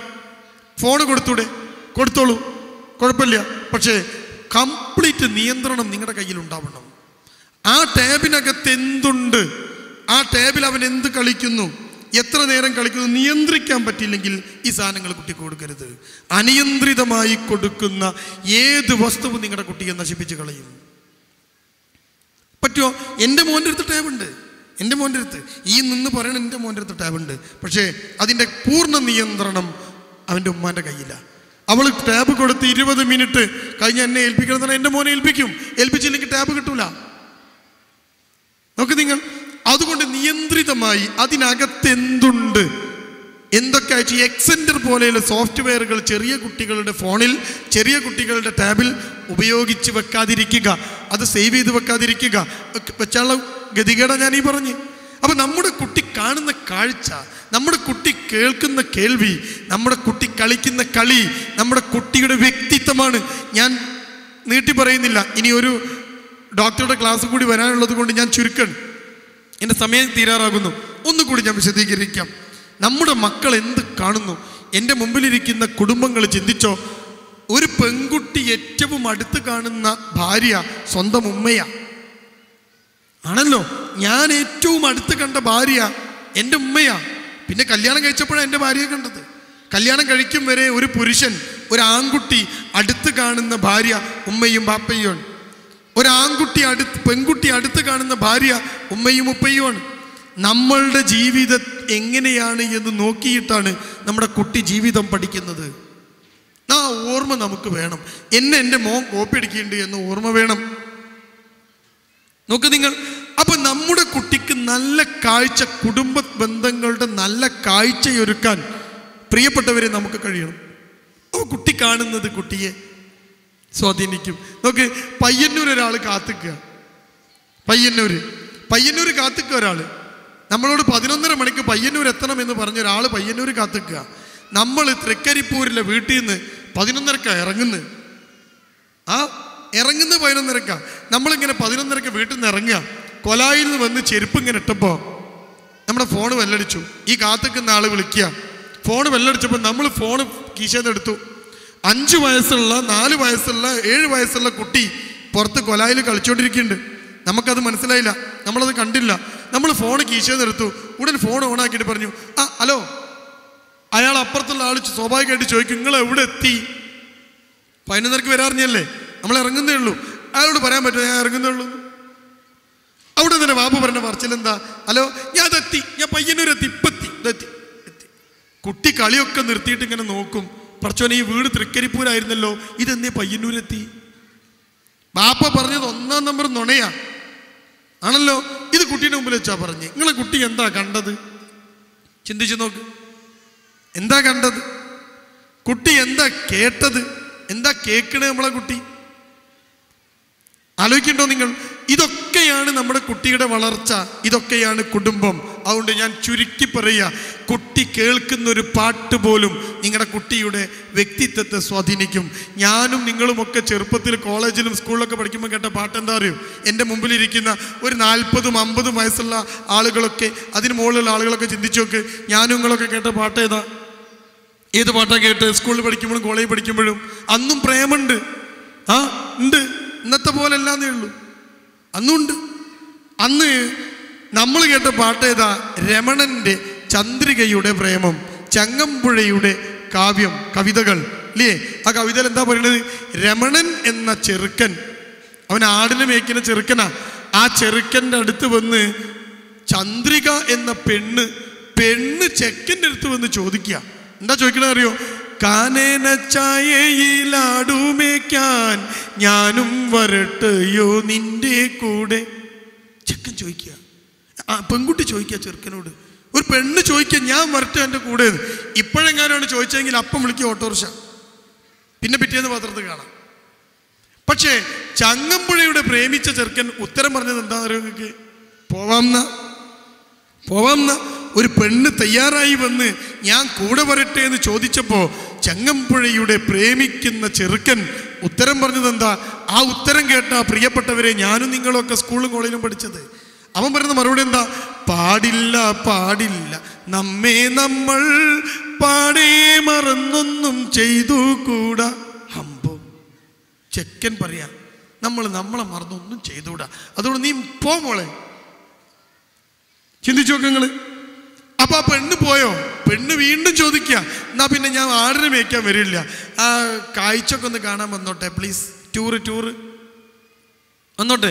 പെണ്ണ് വീണ്ടും ചോദിക്കുക ഒന്നാ വനത്തിലെ കാഴ്ച കാണാൻ എന്നെയും കൂടൊന്ന് കൊണ്ടുപോകൂ. ആ വനത്തിലെ കാഴ്ച കാണാൻ വേണ്ടി കൊണ്ടുപോവാ പ്ലീസ് ചെറുക്കൻ പറഞ്ഞ എന്താ? നിന്നെ ഒരിക്കൽ ഞാൻ കൊണ്ടുപോവാം. ഇന്നു വേണ്ടിന്നു വേണ്ടോ മലാളെ? ഉണ്ടോ നിന്നെ ഒരു ദിവസം കൊണ്ടുപോയിക്കോളാം. ഇന്ന് വേണ്ട. പിന്നെ ഇന്ന് ശരിയാവില്ല. നിക്കാവൊക്കെ ഒന്ന് കഴിഞ്ഞോട്ടെ. ഉറപ്പിച്ചോട്ടെ. എന്നിട്ട് കൊണ്ടുപോയിക്കോളാം നോക്ക് ഇത് കേട്ടല്ലേ ഞാനും നിങ്ങളൊക്കെ വളർന്ന്? നമ്മുടെ കുട്ടിക്ക് ഈ പാട്ട് പറ്റുമോ അവൻ കേൾക്കുന്ന കേൾവി എന്താ? എന്റെ മുമ്പിലിരിക്കുന്ന പ്ലസ് ടുക്കാരി ഡിഗ്രിക്കാരി പെണ്ണ് കേട്ട പാട്ട് ഏതാ ടോ ടോ ബും ബും. ഡാഡി മമ്മി വീട്ടിൽ ഇല്ല ആരും ഇല്ല. വിളയാടാൻ വാ. ഏ? ഡാഡിയും വീട്ടിലില്ല മമ്മി വീട്ടിലില്ല. ചെക്കനോട് പറയാ വേഗം വന്നാ വിളയാടി പോവാം. ബാപ്പയുണ്ടാക്കിയ വീട്ടിന്റെ വാതിലിന്റെ കുറ്റി ഒരു ചെറുക്കന് വേണ്ടി തുറന്നു കൊടുത്ത എത്ര പെൺകുട്ടികളെ ഞാൻ കണ്ടിട്ട് നിങ്ങൾക്ക്? അവൻ വിളയാടി അങ്ങ് പോകും എന്നിട്ടോ? ഇതാ നേരത്തെ ഞാൻ എന്റെ പ്രസംഗം തുടങ്ങിയപ്പം പറഞ്ഞില്ലേ നിങ്ങളോട്? നാലാമത്തെ ആൾ അപ്പം വരുന്നതെന്ന്. അതെന്നെ. അപ്പൊ നിങ്ങൾ ചിന്തിച്ചോ ഈ കുട്ടി കേട്ട പാട്ടെന്താ? ഞാനും നിങ്ങളും കേട്ട പാട്ടെന്താ? എന്ത് രസമായിരുന്നു. ഇപ്പത്തെ കുട്ടി പറയാ പ്ലസ് ടു ഐ മീൻ രണ്ടാം ക്ലാസ് പഠിക്കുന്ന കുട്ടി വന്നിട്ട് പറയാണ് സാർ എന്താ? I am fed up with my life മടുത്തു. എൽ കെ ജിയും യു കെ ജിയും ഒന്നും രണ്ടും കഴിഞ്ഞപ്പോഴേക്ക് കുട്ടി പറയാ മടുത്തു. പ്ലസ് ടുവിനൊക്കെ പഠിക്കുന്ന കുട്ടികൾ ബോറടിക്കുക എന്നാ കുട്ടി അതാ പറയാ നിങ്ങളെ വീട്ടിൽ L K G U K G കുട്ടി ഉണ്ടെങ്കിൽ പറഞ്ഞ പറിച്ചില്ലതാ. അമ്മ ബോറടിക്കുന്നത് എന്താ മോനെ ചെയ്യാ? ഫോണുണ്ടാ നോക്ക് നമുക്കും ഇല്ലായിരുന്നു ഒരു ബാല്യകാലം. ഇല്ലായിരുന്നോ? നമ്മൾ ബോറടിച്ചോ? അടിച്ചോ? ബോറടിച്ചോ? ഇപ്പം ബോറടിച്ചോ? അമ്പത് വയസ്സും അറുപത് വയസ്സുമുള്ള ആളുകൾ സ്ത്രീകളും പുരുഷന്മാരും ഒക്കെ ഇരിക്കുന്നു ബോറടിച്ചോ? കാരണം എന്താ അറിയോ? അന്ന് നമ്മൾ കേട്ട പാട്ട് നമ്മൾ കണ്ട കാഴ്ചകൾ അങ്ങനെയാ. ചന്ദ്രകളഭം ചാർത്തിയുറങ്ങും തീരം. കേരളത്തെ കുറിച്ച. ഇന്ദ്രധനുസിൻ തൂവൽ പൊഴിയും തീരം. അടുത്ത അടുത്ത വാക്കെന്താ അറിയോ? കവി പറയണത് ഈ മനോഹര തീരത്ത് തരുമോ? ഇനിയൊരു ജന്മം കൂടി. മടുത്തില്ലാന്ന്. ഇങ്ങനെ തരുമോ ഞങ്ങൾ ജീവിക്കാം. എനിക്കും നിങ്ങൾക്കും മടുത്തില്ല. പ്ലസ് എന്താലോ ആറ് വയസ്സുള്ള ചെക്കൻ പറയാം മടുത്തു ഓൻ കേൾക്കണ പാട്ട് ഏതാ? എന്നെ തല്ലണ്ടമ്മാവ ഞാൻ നന്നാവൂല. അടിച്ച് കൊല്ലണ്ട അതിനൊക്കെ ഒരുത്തം പറയാം പിന്നെ പിന്നെന്താ ഉണ്ട് എന്തിനാ എന്നെ പോറ്റണ് നിങ്ങൾ പറ. നാം കേൾക്കുന്ന ഒരു പാട്ട് പോലും നാം കേൾക്കുന്ന ഒരു കേൾവി പോലും നമ്മുടെ ജീവിതത്തിൽ വലിയ സ്വാധീനമുണ്ടാക്കും. ചെറുപ്പത്തിൽ നമ്മൾ ചിന്തിക്കണം അത്. അതുകൊണ്ട് നമ്മുടെ കുട്ടികൾക്ക് നല്ല കേൾവി ഉണ്ടാക്കണം. നമ്മുടെ കുട്ടികൾക്ക് നല്ല കാഴ്ചയൊരുക്കണം നമ്മുടെ കുട്ടികൾക്ക് കളിക്കാൻ അവസരം ഉണ്ടാക്കണം. ഞാനിപ്പോൾ എന്റെ സംസാരം നിർത്തിയിട്ട് എന്തെങ്കിലും ചോദിക്കേണ്ടോന്ന് ചോദിച്ചാൽ നിങ്ങൾ ഉമ്മാരൊക്കെ ചോദിക്കുന്ന ഒരു ചോദ്യം എന്തായിരിക്കും എന്നറിയോ? സാർ എനിക്ക് മൂന്ന് കുട്ടികളാണ് ആ എന്നിട്ട് മൂന്നാളും തമ്മിലൊരു സ്നേഹമില്ല. മൂത്ത് ചെയ്യണ രണ്ടാമത്തേന് പറ്റൂല അത് ചെയ്യണ ഇവന് പറ്റൂല ഇത് ചെയ്യണ ചെറിയന് പറ്റൂല. എന്റെ മൂന്ന് കുട്ടികൾ ഒരു സ്നേഹമില്ല എന്നാ നമ്മളോ? ഞാനും എന്റെ അനിയനും തമ്മിൽ നല്ല ബന്ധം? ഇപ്പോഴും. എന്റെ കാക്കി ഞാനും തമ്മിൽ നല്ല ബന്ധം? ഇപ്പോഴും. എന്റെ കാക്ക തല്ലിയാൽ ഞാൻ എപ്പോഴും കൊള്ളും. തിരിച്ചടിക്കൂല. നോക്ക് എന്റെ പെങ്ങളും ഞാനും തമ്മിൽ നല്ല ബന്ധം? ഇപ്പോഴും. നോക്ക് ചില കാര്യങ്ങളൊക്കെ എന്റെ ഭാര്യ പറഞ്ഞ് തീരുമാനമാവാഞ്ഞാൽ എന്റെ ഭാര്യ ചെയ്യുന്ന പണി എന്താണെന്നറിയോ? നേരെ ഗൾഫിലുള്ള എന്റെ പെങ്ങൾക്ക് വിളിക്കും. എന്നിട്ട് പറയും നോക്കി പറഞ്ഞിട്ട് കേൾക്കില്ല. ഇന്ന് പറയും നിങ്ങളൊന്ന് പറയും. ഉടനെ ഓൾ വിളിച്ചിട്ട് പറയും എന്താ കേൾക്കാത്ത തീരുമാനമായി. ഉണ്ടോ ആ ബന്ധം ഇപ്പോഴും ഉണ്ടല്ലോ. ഞാനും എന്റെ പെങ്ങളും തമ്മിൽ. എന്റെ കയ്യിൽ കിടക്കുന്ന വാച്ച് എന്റെ പെങ്ങൾ വാങ്ങി തന്നതാ. ഗൾഫിൽ നിന്ന് വരുമ്പോൾ കൊണ്ടു തന്ന. കണ്ടോ? ആലോചിച്ച് നോക്ക്. ഞാനും എന്റെ പെങ്ങളും തമ്മിൽ ഇപ്പോഴും ഉണ്ടല്ലോ ബന്ധം. ഞാനും എന്റെ അനിയനും തമ്മിൽ ഇപ്പോഴും ഉണ്ടല്ലോ ബന്ധം. എന്റെ അനിയന്റെ കീശ കിടക്കുന്ന ഫോൺ ഞാൻ കഴിഞ്ഞ വർഷം ദുബായ് പോയപ്പോൾ വാങ്ങിക്കൊടുത്തതാ. ഉണ്ടല്ലോ ബന്ധം. അതെന്താ അങ്ങനെ? അപ്പൊ നിങ്ങൾ ചിന്തിക്കണം നമ്മുടെ മക്കൾ എന്താ ബന്ധമില്ലാത്തത്? ചെറുപ്പത്തിൽ ഞാനും എന്റെ അനിയനും എന്റെ അനിയത്തിയുമൊക്കെ ഒരുമിച്ച് ചേർന്ന് മുറ്റത്ത് നിന്ന് കളിച്ചിട്ടുണ്ട്. ആ ആ കളിച്ചപ്പം രൂപപ്പെട്ട സൗഹൃദം ഇപ്പോഴും നമുക്കിടയുള്ളത്. നമ്മുടെ വീട്ടിലെ കുട്ടി കളിക്കലുണ്ടോ? മൂത്ത കുട്ടീന്റെ കയ്യിലൊരു ഫോണ് അതും പിടിച്ച് ഓനൊരു മൂലക്കൽ. അതിൽ അനിയൻ പോയിട്ട് ഏന്തി വയ്ക്കാം മറക്കടാവുന്നു അല്ലേ അപ്പം അനിയൻ വന്നിട്ട് പറയുമ്പോൾ എനിക്കൊന്നും കാണാൻ സമ്മതിക്കില്ല. അല്ലേ എന്ന് ആര് പറയും? അനിയം ഏട്ടമെന്ന് പറയും. അനിയമെന്ന് പറയും. അപ്പൊ ഉമ്മ പറയും ഉമ്മന്റെ അടുത്തുള്ള പഴയ ഫോൺ നീ എടുത്തു? ഒന്നാ വേറൊരു ഫോണ് അപ്പൊ പെങ്ങൾ വരും എനിക്ക് മാത്രം ഫോണില്ലേ പാപ്പാന്റെ പഴയത് ഈ എടുത്തോ? എന്നിട്ട് മൂന്നെണ്ണം മൂന്ന് സോഫമിൽ ബും. എന്ത് ബന്ധം അവർ തമ്മിലുള്ളത്? ആ കുട്ടികൾ വളർന്നാൽ അങ്ങോട്ടും ഇങ്ങോട്ടും അടിയാവൂലേ? എന്റെ പ്രിയമുള്ളവരെ നിങ്ങളുടെ കുട്ടി കളിക്കുന്ന കളി വലിയ പ്രശ്ന. അതാ നമ്മുടെ കുട്ടികളെ ഒരുമിച്ച് കളിക്കാൻ അനുവദിക്കണം. അപ്പോഴേ അവർ തമ്മിലൊരു ബന്ധം ഉണ്ടാവുള്ളൂ. ഇല്ലേ? ഇനി നിങ്ങൾ കണ്ടോ കുട്ടി കളിക്കുന്ന കളി എന്താ? Video game. നിങ്ങൾ ചിന്തിച്ചോ കുട്ടി വീഡിയോ ഗെയിം കളിക്കുമ്പോൾ നിങ്ങളൊന്ന് അടുത്തിരിക്കണേ. ഞാൻ അതും കൂടി പറഞ്ഞ് നിർത്തണം. ഒന്ന് അടുത്തിരിക്കണേ. എന്നിട്ട് നിങ്ങൾ നോക്കണം ആ കുട്ടി തോൽക്കും എന്ന് ഉറപ്പുള്ള കളി കുട്ടി കംപ്ലീറ്റ് ആക്കുമോ ആക്കുവോ കുട്ടി തോൽക്കുന്ന ഉറപ്പാ. പിന്നോ കളിക്കൂല. എക്സിറ്റ് അടിച്ചു കളയും എന്നിട്ടോ രണ്ടാമത് കൊടുക്കും. അപ്പൊ നമ്മൾ ചോദിക്കും എന്തിനാണ് കളി എക്സിറ്റ് ആക്കിയത് അത് ഞാൻ ജയിക്കൂല അതുകൊണ്ടാണ് അപ്പൊ ഞാൻ എന്ത് കളിയാണ് കളിക്കുക ജയിക്കുന്ന കളി മാത്രമേ കളിക്കുള്ളൂ. തോൽക്കുന്ന കളി കളിക്കുമോ അപ്പൊ ഈ കുട്ടി തോൽക്കാൻ പഠിച്ചോ? ഇങ്ങനെ തോൽക്കാൻ പഠിച്ചോ കുട്ടി? തോൽക്കാൻ പഠിക്കണ്ടേ ജീവിതത്തിൽ കുടുംബ ബന്ധത്തിന് ഏറ്റവും അടിസ്ഥാന സാധനം എന്താ? തോൽക്കാൻ അറിയണം ഭാര്യ ഒന്ന് തോറ്റെടുക്കണം ഭർത്താവ് ഒന്ന് തോറ്റെടുക്കണം ഏട്ടനൊന്ന് തോറ്റെടുക്കണം താത്ത തോറ്റെടുക്കണം തോൽക്കാതെ എങ്ങനെ കുടുംബം മുന്നോട്ട് പോവുക? ഭാര്യ പറയുന്നു എനിക്ക് ജയിക്കണം ഭർത്താവ് പറയുന്നു എനിക്കും ജയിക്കണം. എന്നവർ രണ്ടാളോട് ജയിച്ചോളി. ജയിക്കോ ഒരാളൊന്ന് തോറ്റെടുക്കണ്ടേ ഒരു താത്ത തോറ്റെടുക്കണ്ടേ? കാക്ക തോറ്റെടുക്കണ്ടേ? അനിയത്തി തോറ്റെടുക്കണ്ടേ? അനിയൻ വാശി പിടിച്ച് കരയുമ്പോ ഇല്ലേ? നമ്മളൊക്കെ ചെയ്തിട്ടില്ലേ? ബാപ്പ കേക്കുമായിട്ട് വീട്ടിൽ വന്ന് അനിയൻ പറയും എനിക്ക് വലിയ ഇഷ്ടം വേണം. അവൻ പറയും കൊടുത്തേക്കുമ്പ നമുക്ക് പൂത്തില്ലേറ്റാ നമ്മൾ തോറ്റെടുത്തതല്ലേ? ഇപ്പത്തെ കുട്ടി തോറ്റെടുക്കുവോ? ആ കേക്ക് തിന്നില്ലെങ്കിലും വേണ്ടിയില്ല. കൊടുക്കൂല. കൊടുക്കൂലേ? കൊടുക്കുവോ? എന്ത് സ്വഭാവം അതൊക്കെ? അപ്പൊ നമ്മൾ ചിന്തിക്കണം നമ്മൾ മക്കളെ വളർത്തുന്നിടത്ത് നമ്മുടെ കുടുംബ ജീവിതത്തിനകത്ത് ചില മാറ്റങ്ങൾ ഉണ്ടാവേണ്ടതുണ്ട്. ഈ കുട്ടി തോൽക്കാൻ പഠിക്കണമെങ്കിൽ ഗ്രൗണ്ടിൽ ഇറങ്ങണം ഒരുമിച്ച് കളിക്കണം. നമ്മളൊക്കെ സ്കൂൾ വിട്ട് വന്നാൽ കളിക്കും. രണ്ട് ടീമായിട്ടാണ് കളിക്കുക. എന്നിട്ടോ? കളിച്ച് കളിച്ച് കളിച്ച് കളിച്ച് ഒരു ടീം തോൽക്കും. ഒരു ടീം ജയിക്കും. ജയിച്ച ടീം എന്താ ചെയ്യാന്നറിയോ? തോറ്റ ടീമിനെ കൂക്കി വിടും. അയ്യേ തോറ്റ്. അല്ലേ തോറ്റിട്ടൊരു നൃത്തമുണ്ട്. നാളെ ഇറങ്ങടാ ശരിയാക്കി തരാം. ഉണ്ടോ? ആ നൃത്തമാണ് നൃത്തം. തോറ്റിട്ടാ നിൽക്കുന്നത് ഇന്ന് അപ്പത്തെ കുട്ടിയോ നിങ്ങൾ ടി വിയിൽ ന്യൂസ് വായിച്ച് കണ്ടിട്ടില്ലേ? പത്രത്തിൽ വായിച്ചിട്ടില്ലേ? ബാപ്പ റിമോട്ട് എടുത്ത് വെച്ചു. മകൻ ആത്മഹത്യ ചെയ്തു. ഫേസ്ബുക്ക് ഭർത്താവ് വിലക്കി വധു ആത്മഹത്യ ചെയ്തു. എന്തുകൊണ്ടാ? തോൽക്കാൻ അറിയില്ല ഒറ്റൊന്നിനും. റെഡി. അപ്പൊ ഈ കുട്ടിയെ പിന്നെ എന്തിനു പറ്റും? അപ്പൊ നമ്മുടെ കുട്ടിയുടെ കാഴ്ച നമ്മുടെ കുട്ടിയുടെ കേൾവി നമ്മുടെ കുട്ടിയുടെ കളി. പ്രിയമുള്ളവര് കുടുംബം കുടുംബത്തിന്റെ ഏറ്റവും വലിയ പ്രതീക്ഷ മക്കളാണ്. ആ? ഞാനും നിങ്ങളൊക്കെ ജീവിക്കണത് ആർക്ക് വേണ്ടിയാ? നിങ്ങൾ ചിന്തിച്ചോ? ഒരു പെണ്ണിന്റെ ആയുസ് ഇരുപത്തഞ്ച് വയസ്സാണ് ഒരാണിന്റെ ആയുസ് മുപ്പത് വയസ്സാണ് ഇരുപത്തഞ്ച് വയസ്സ് കഴിഞ്ഞാൽ പെണ്ണിന്റെ ആയുസ് തീർന്നു. മുപ്പത് വയസ്സ് കഴിഞ്ഞാൽ പുരുഷന്റെ ആയുസും തീർന്നു. പിന്നെയോ ഇരുപത്തഞ്ചിന് ശേഷം ഒരു പെണ്ണും മുപ്പതിന് ശേഷം ഒരാണും ജീവിക്കണത് ആർക്ക് വേണ്ടിയാ? നിങ്ങൾക്ക് വേണ്ടിയാ? ആണോ? നിങ്ങൾക്ക് വേണ്ടിയാ? അല്ല എന്താ ചോ ഉത്തരം? മക്കൾക്ക് വേണ്ടി. ഞാൻ പുറത്തു പോകും. ഗൾഫിലൊക്കെ പോകുമ്പം ഇതേപോലെ ക്ലാസ്സിന് ആണുങ്ങളും കൂടും. ആണുങ്ങൾക്ക് ക്ലാസ് എടുക്കുമ്പോൾ ചോദിക്കും നിങ്ങൾ ഈ കുടുംബമില്ലാതെ കുട്ടികളില്ലാതെ ഭാര്യയെ ഒന്ന് കെട്ടിപ്പിടിച്ച് കിടന്നുറങ്ങാൻ കഴിയാതെ ആ മലരാരണ്യത്തിൽ വെച്ചിട്ട് നിങ്ങൾ ആലോചിച്ച് നോക്ക് മരം കോച്ചുന്ന തണുപ്പും കൊടും ചൂടും മരുമണൽ കാറ്റുമൊക്കെ നേരിട്ട് അവിടെ ജീവിക്കുക ബാപ്പ. ചോദിച്ചു ഞാൻ എന്തിനാ നിങ്ങൾ ഇവിടെ വന്ന് ഇങ്ങനെ കഷ്ടപ്പെടുന്നത് എന്ന് ഉത്തരം ഒറ്റ ഉത്തരേ ഉള്ളൂ. എന്താ ഉത്തരം? മക്കളെ പോറ്റണ്ടേ സാറേ. ഒക്കെ നിങ്ങൾ അപ്പൊ അയാളിപ്പോൾ എന്താ ആർക്ക് വേണ്ടിയാ ജീവിക്കണേ? അയാൾക്ക് വേണ്ടിയാ? ആണാ? അപ്പൊ നമ്മളൊക്കെ ഇരുപത്തഞ്ചിന് ശേഷം ഒരു പെണ്ണും മുപ്പതിന് ശേഷം ഒരാണും ജീവിക്കുന്നത് ആർക്ക് വേണ്ടിയാ? മക്കൾക്ക് വേണ്ടി. ഈ മക്കളാണ് പ്രിയപ്പെട്ടവരെ കുടുംബം എന്ന ഒരു സിസ്റ്റത്തിന്റെ പ്രതീക്ഷ. പ്രതീക്ഷ. കണ്ടോ? നമ്മളൊക്കെ ജീവിക്കുന്നത് യൂറോപ്പിലൊന്നുമല്ല കേരളത്തിലാണ്. അല്ലേ? ആണ്. നമ്മൾ കേരളത്തിലെ കുട്ടികളുണ്ടാക്കിയാൽ മതി. നമ്മുടെ പ്രതീക്ഷ എന്താ? കേരളത്തിലെ പ്രതീക്ഷ എന്താ? ഒരു ഉമ്മ കുട്ടിയെ ഉറക്കുമ്പോൾ ഒരു ഉമ്മ കുട്ടിയെ നോക്കുമ്പോൾ നമ്മൾ കാണുന്ന സ്വപ്നം എന്താ? എന്താ? താരാട്ട് പാടുകയാണ്.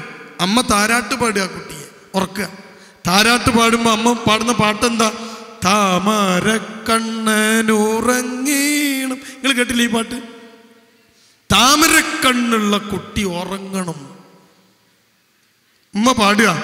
താമര കണ്ണനുറങ്ങേണം കണ്ണും പൂട്ടിയുറങ്ങേണം. ഉറക്കുക. അടുത്ത വരി എന്താ? അമ്മ എന്താ പറയണത്? അച്ഛനെ പോലെ വളരേണം. കുട്ടി അച്ഛനെ പോലെ വളരണം. അതിന് അമ്മ ഈ പഴം പുഴുങ്ങിക്കൊടുക്കുന്നു കോഴിമുട്ട പുഴുങ്ങിക്കൊടുക്കുന്നു കഞ്ഞി ബാക്കിലടന്ന് കൊടുക്കുന്നു ചോറ് കൊടുക്കുന്നു. എന്തിനാ? അച്ഛനെ പോലെ വളരേണം. അതിന് മാത്ര. അടുത്ത വരിയാണ് അമ്മന്റെ വരി. എന്താ? അമ്മ പറയുക അമ്മയ്ക്ക് തണലായി മാറേണം. ഇതാണ് പ്രതീക്ഷ. എന്റെ കുട്ടി അച്ഛനെ പോലൊക്കെ വളർന്ന് അമ്മനെ പോലൊക്കെ വളർന്ന് അച്ഛനും അമ്മക്കും തണലായി മാറണം. അല്ലേ നിങ്ങളൊന്ന് നോക്ക്. ഒരു എട്ടാം ക്ലാസ്സിന് ശേഷമുള്ള കുട്ടികളുള്ള അമ്മയും പാപ്പിയാരൊക്കെ ഒന്ന് ആലോചിച്ച് നോക്കിയാൽ ഈ പാട്ട് പാടും നിങ്ങൾക്ക് തോന്നൂലേ? ഈ പാട്ട് മാറ്റണം ഇപ്പൊ എന്താ?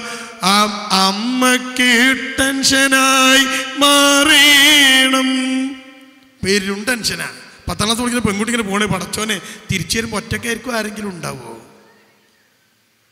പറയാൻ പറ്റുമോ ചിന്തിച്ചു നോക്ക് നിങ്ങൾ അപ്പം നമ്മൾ ചിന്തിക്കണം നമ്മുടെ വീട്ടിനകത്തെ കുടുംബാവസ്ഥയിൽ ചില മാറ്റമുണ്ടാക്കണം. ചില കാര്യങ്ങൾ എണ്ണിപ്പറഞ്ഞ് അഞ്ച് മിനിറ്റിൽ ഞാൻ അവസാനിപ്പിക്കുകയാണ്. എണ്ണിപ്പറഞ്ഞ് മാത്രം വിശദീകരിക്കാൻ സമയമില്ല. പ്രിയമുള്ള കുടുംബങ്ങളോട് കുടുംബങ്ങളായി ജീവിക്കുന്നവരോട് ചില കാര്യങ്ങൾ എണ്ണിപ്പറഞ്ഞ് ഞാൻ നിർത്തുകയാണ്. കുടുംബം എന്നത് എന്താണ് നമ്മൾ ആദ്യം പഠിക്കണം. ആദ്യം പഠിക്കണം. ഈ കാഞ്ഞങ്ങാടിന്റെയും കണ്ണൂരിന്റെയും അതേപോലെ തന്നെ ഈ നമ്മുടെ ഈ പ്രദേശത്തിന്റെയൊക്കെ ഒരു പ്രശ്നം എന്താണെന്നറിയോ? ഭാര്യ വീട്ടിലാണ് കല്യാണം കഴിച്ചാൽ സ്ത്രീകൾ കഴിയുക. അത് അതിന്റെ പ്രശ്നങ്ങളിലേക്കൊന്നും ഞാൻ കിടക്കുന്നില്ല. അതിന്റെ ഒരു പ്രശ്നം എന്താണെന്നറിയോ നിങ്ങൾക്ക്? ഈ പെൺകുട്ടി ഒരു പേടി ഉണ്ടാവില്ല. ഇപ്പം ഞങ്ങളുടെ നാട്ടിലൊക്കെ കല്യാണം കഴിച്ച് ഭർത്താവിന്റെ വീട്ടിലേക്ക് കൊണ്ടു ചെന്നാൽ വേറൊരു വീട്ടിലെത്തുമ്പോൾ സ്വാഭാവികമായിട്ട് ഈ പെൺകുട്ടിക്ക് ഒരു പേടി ഉണ്ടാവും. ഒരു അനുസരണം ഉണ്ടാവും ഇതോ ഇന്ന് നിങ്ങൾ ചിന്തിച്ചു നോക്ക് ഇപ്പൊ ഈ പ്രദേശത്തെ ഇത്തരം കുടുംബ വ്യവസ്ഥ അനുഭവിക്കുന്ന ഏറ്റവും വലിയ പ്രശ്നം എന്താ അറിയോ? ഉമ്മ ഉമ്മാരെപ്പോഴും സങ്കടത്തിലായിരിക്കും. ഉമ്മക്കൊരു സ്വൈര്യം ഉണ്ടാവില്ല.